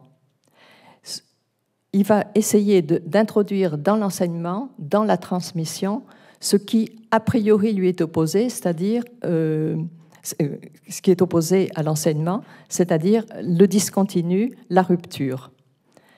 Au lieu du discours magistral euh, logiquement articulé ou bien ficelé, il va venir donc avec ses petites fiches et à la fois il a prévu un ordre, mais en même temps c'est un ordre qui doit laisser euh, place à un certain incident, disons, à condition que ça ne foute pas en l'air tout ce qu'il a, tout le programme. Et euh, il faut aussi que cet ordre aléatoire ne débouche pas sur un sens. Et c'est pourquoi il va souvent s'en remettre à l'ordre alphabétique, qui est hors sens, mais en même temps, il arrive que deux fragments côte à côte, assemblés par hasard, et même ça arrive souvent, vont produire un sens imprévu. Donc, au cœur du fragment, de la pratique du fragment, il y a une angoisse. Et ça, c'est typique en effet de tout, tout, ce que dit Barthes, qui en effet se dédouble. Il y a le côté jouissif, le côté hédoniste et l'envers de l'angoisse. Et le fragment, c'est merveilleux parce qu'il vous permet d'aller où, vous voulez. C'est le détachement même. En même temps, l'angoisse, il peut toujours à nouveau s'acoquiner avec un autre fragment et vous donner du sens auquel vous n'avez pas pensé. Et une des choses qui va aussi euh, faire de cet euh, enseignement une sorte de, de, laboratoire euh, du fragment, c'est d'intégrer le silence. Et ça, c'est une chose rare, en effet, et qui se fait, qui est antithétique, on le sait, d'enseigner, c'est de s'arrêter euh, tout d'un coup et voilà, de plus rien dire. Dans ce, dans ce silence, euh, il y avait deux choses. Il y avait la recherche du mot juste, et il y avait aussi euh, la possibilité pour les gens autour de la table, pour les, participants, de participer. Mais cette, euh, cette participation était vraiment euh, pensée et, beaucoup. Je pense que Pascal Bruckner, qui est venu un jour au séminaire, il trouvait que tout le monde avait une voix monocorde et qu'on parlait barthésien, ce qui certainement était juste, mais en même temps, c'était un enchantement de la nuance. Et moi, je me sentais étudiante en nuances. Et hum, cette règle du jeu de respecter le fragment sans tomber dans la parole euh, professorale oppressive, elle, s'est maintenue et au moment du, travail autour du, fragment des discours amoureux, elle était particulièrement périlleuse. Elle était vraiment sur un abîme au sens, euh, dans tous les sens du terme, un gouffre possible et un abattement. Car l'art du fragment est délicat, il est minutieux. Et ainsi que le, le timbre adorable, le fragment doit être à la fois plein et divers. Son découpage est le contraire de la déchirure. Celle-ci, comme l'accident opposé à l'incident, est sur le versant de la catastrophe. Alors, en, pensant à, cette journée bordelaise, je me suis dit peut-être j'ai quelque part des notes, on ne sait pas, mais ça, j'ai perdu toutes mes notes. Mais j'ai retrouvé euh, le, journal que je tenais à cette époque, qui, était très euh, fragmentaire. Et, euh, et, à ma surprise, j'ai trouvé en date, je crois que du 30 janvier, j'avais marqué jeudi, séminaire Roland Barthes, les réponses à Je t'aime. Et à côté de notations comme euh, l'intelligence de Michael, la brutalité de Stuart, etc., j'ai écrit l'enfer d'être l'objet aimé. Ça m'a vraiment étonné par la. Je me suis demandé qu'est-ce que je voulais dire par là. Et, j'ai essayé de me souvenir comment ce séminaire Je t'aime avait pu fonctionner. Et j'ai d'abord pensé que dans, le contexte et dans la mesure où l'objet aimé était présent dans la salle, ça devait être, terrible de devoir trouver une réponse intelligente et distancée à cette phrase ⁇ Je t'aime ⁇ En même temps, euh, j'ai aussi pensé que euh, Barthes voulait nous faire dire quelque chose qui, moi, euh, me déplaisait profondément, qui était cette, cette affirmation qu'il a répétée plusieurs fois, qu'il ne faut pas euh, hésiter à dire je t'aime, qu'on peut le dire autant de fois qu'on veut. Il faut, il faut s'abandonner et dire je t'aime. Et, et, moi, euh, dans une sorte de puritanisme, euh, en, tout cas quelque chose d'autre, peut-être sadien, en tous les cas, j'étais contre cette idée. Et je me suis aperçu que dans ce contexte, c'était extrêmement difficile, justement par rapport à quelque chose qu'on a dit, puisque c'était à la fois affectif et intellectuel, d'avancer une idée vraiment opposée. Elle se disait, elle finissait par se dire, mais subtilement. Maintenant, ce jugement, l'enfer d'être l'objet aimé, euh, après avoir lu le livre, puisque ce qui était extraordinaire, c'est que ces concepts apparaissaient en même temps que se, se déployer, ou en tous les cas, essayer de se vivre amour, un amour difficile. Maintenant, à partir du livre, euh, il m'apparaît que euh, ce qui est dit dès le départ, c'est-à-dire que les fragments d'un discours amoureux reposent structurellement sur un sujet qui parle, qui, qui s'affole, qui se rassure, face à un objet muet, un objet littéralement prétexte, que euh, la structure même fait de l'objet aimé qui, dans le cercle euh, du séminaire, pouvait être euh, objet d'envie, cette structure même est fait de l'objet aimé déjà un objet mort. Puisque, et c'est l'opposition entre fragment et histoire, ou entre détail et continuum, puisque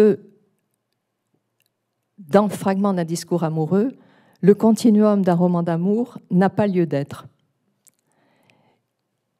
Il n'a pas lieu d'être précisément parce qu'il n'y a pas rencontre entre deux sujets, mais seulement le travail solitaire d'un écrivain.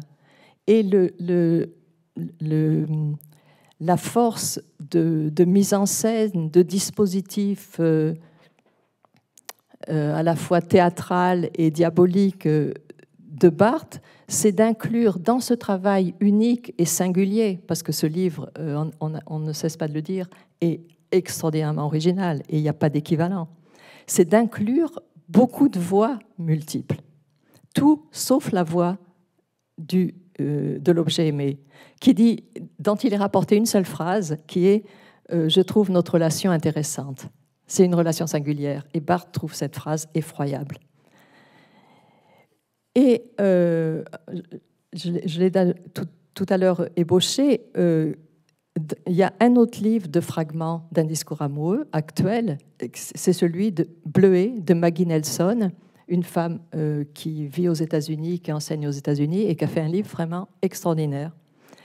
Et comme les, fragments d'un discours amoureux, amoureux euh, Maggie Nelson euh, chasse de son texte l'histoire d'amour et, et, elle peut le faire parce que ce texte de fragment se rapporte à un amour déjà advenu et c'est un texte qui, au fond, raconte une rupture. Donc les fragments sont choisis sur un corps mort et c'est la langue seule qui les fait vivre. Pour Barthes, euh, ces fragments reposent aussi sur un amour déjà advenu, et qui, pas vraiment un amour déjà advenu, non, mais c'est un amour qui, euh, a priori, ne peut pas exister. C'est-à-dire un amour hors, hors roman, parce qu'il est hors suspense.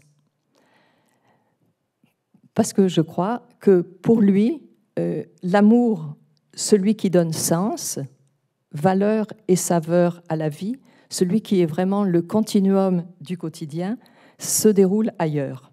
Et celui-ci, il est sans le moindre rapport à l'énonciation.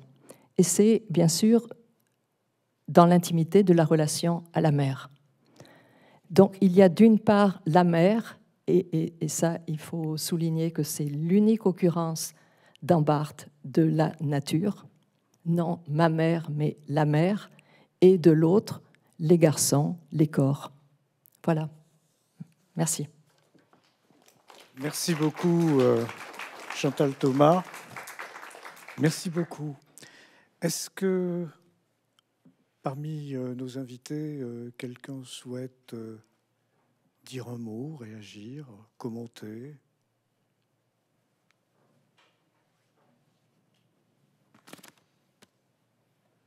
Alors peut-être je me permets, je me permets, euh, vous avez, euh, vous nous avez entretenu de cette phrase "je t'aime". Alors éventuellement, euh, j'ai envie de vous lire Barthes à propos de cette phrase et de connaître euh, votre réaction, la réaction de nos amis. Je t'aime n'est pas une phrase. Il ne transmet pas un sens, mais s'accroche à une situation limite, celle où le sujet est suspendu dans un rapport spéculaire à l'autre. C'est une holophrase.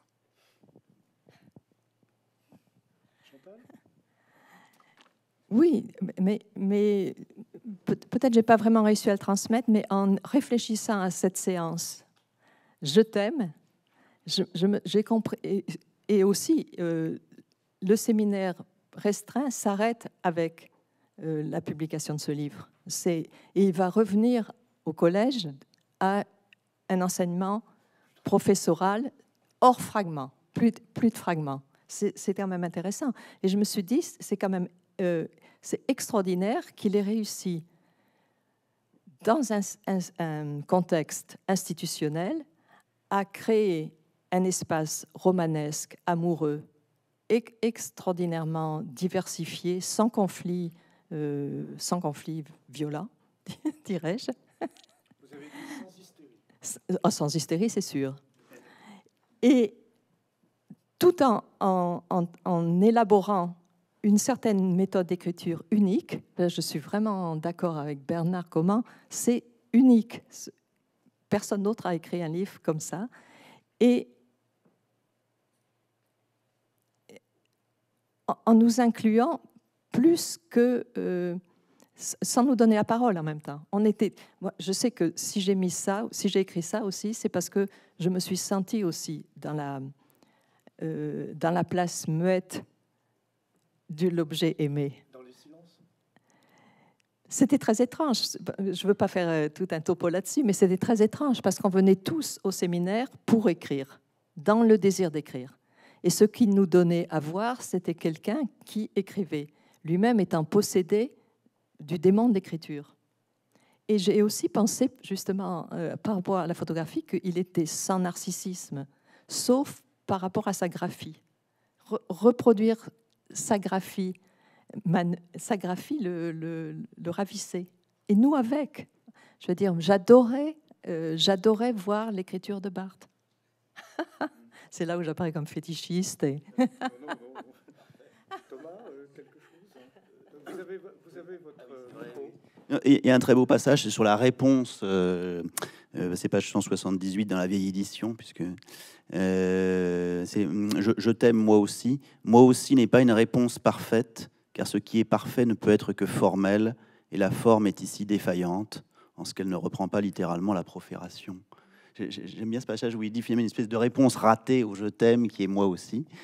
Et euh, à la même époque, donc, il y a une, chanson populaire euh, qui, propose une réponse géniale qui est le je t'aime moi non plus. Et, et voilà, enfin, je, je trouve c'est je, corrèle un peu mes obsessions avec les vôtres. Et... voilà. Une jolie chanson qui était Je suis une libertine. Oui, c'est un peu plus tard. 83. Un peu plus tard. mais, mais le. un après-midi consacré à la chanson populaire. Mais c'est là où l'espace naturel de la mer euh, est, absolument ailleurs, parce que la question du je t'aime ne euh, se pose pas pour, lui. Hein. Et puis aussi le, fait que euh, les mots et les mots d'amour et le je t'aime, qui est la quintessence des mots d'amour, ne se contentent pas de décrire la réalité, ils peuvent la créer.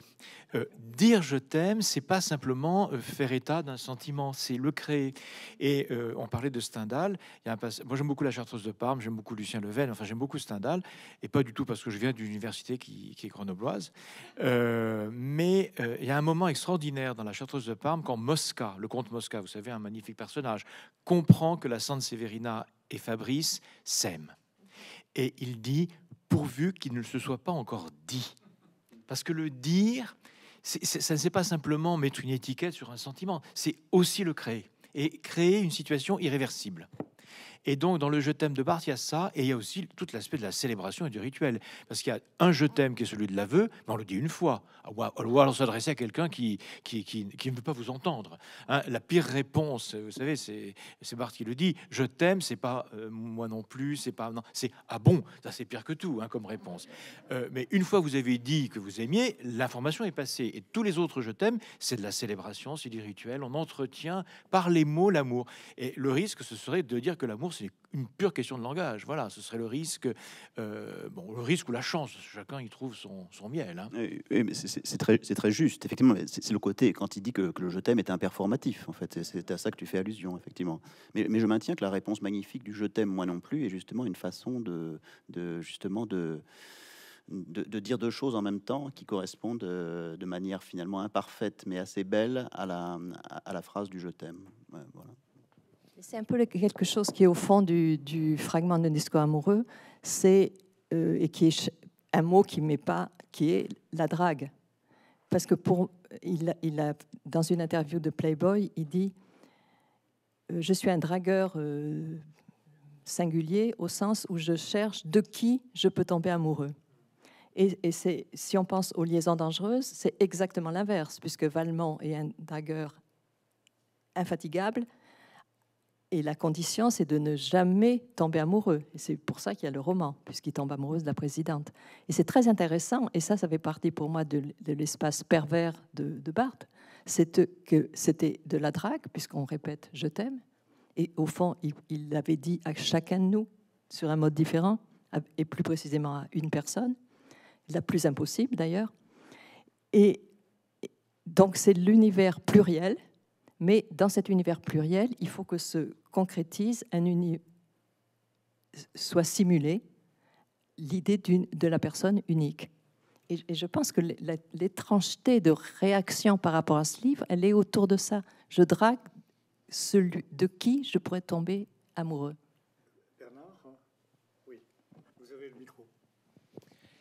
Euh, ce, que je, ce que je voulais ajouter euh, et qui fait, euh, alors qui peut faire la déception, mais qui pour moi fait la grandeur de, ce livre aussi, c'est que on ne sait pas quel sexe parle à quel sexe. et ça, c'est un travail d'écriture, de, de, neutralisation, qui, est, qui est assez spectaculaire. Hein.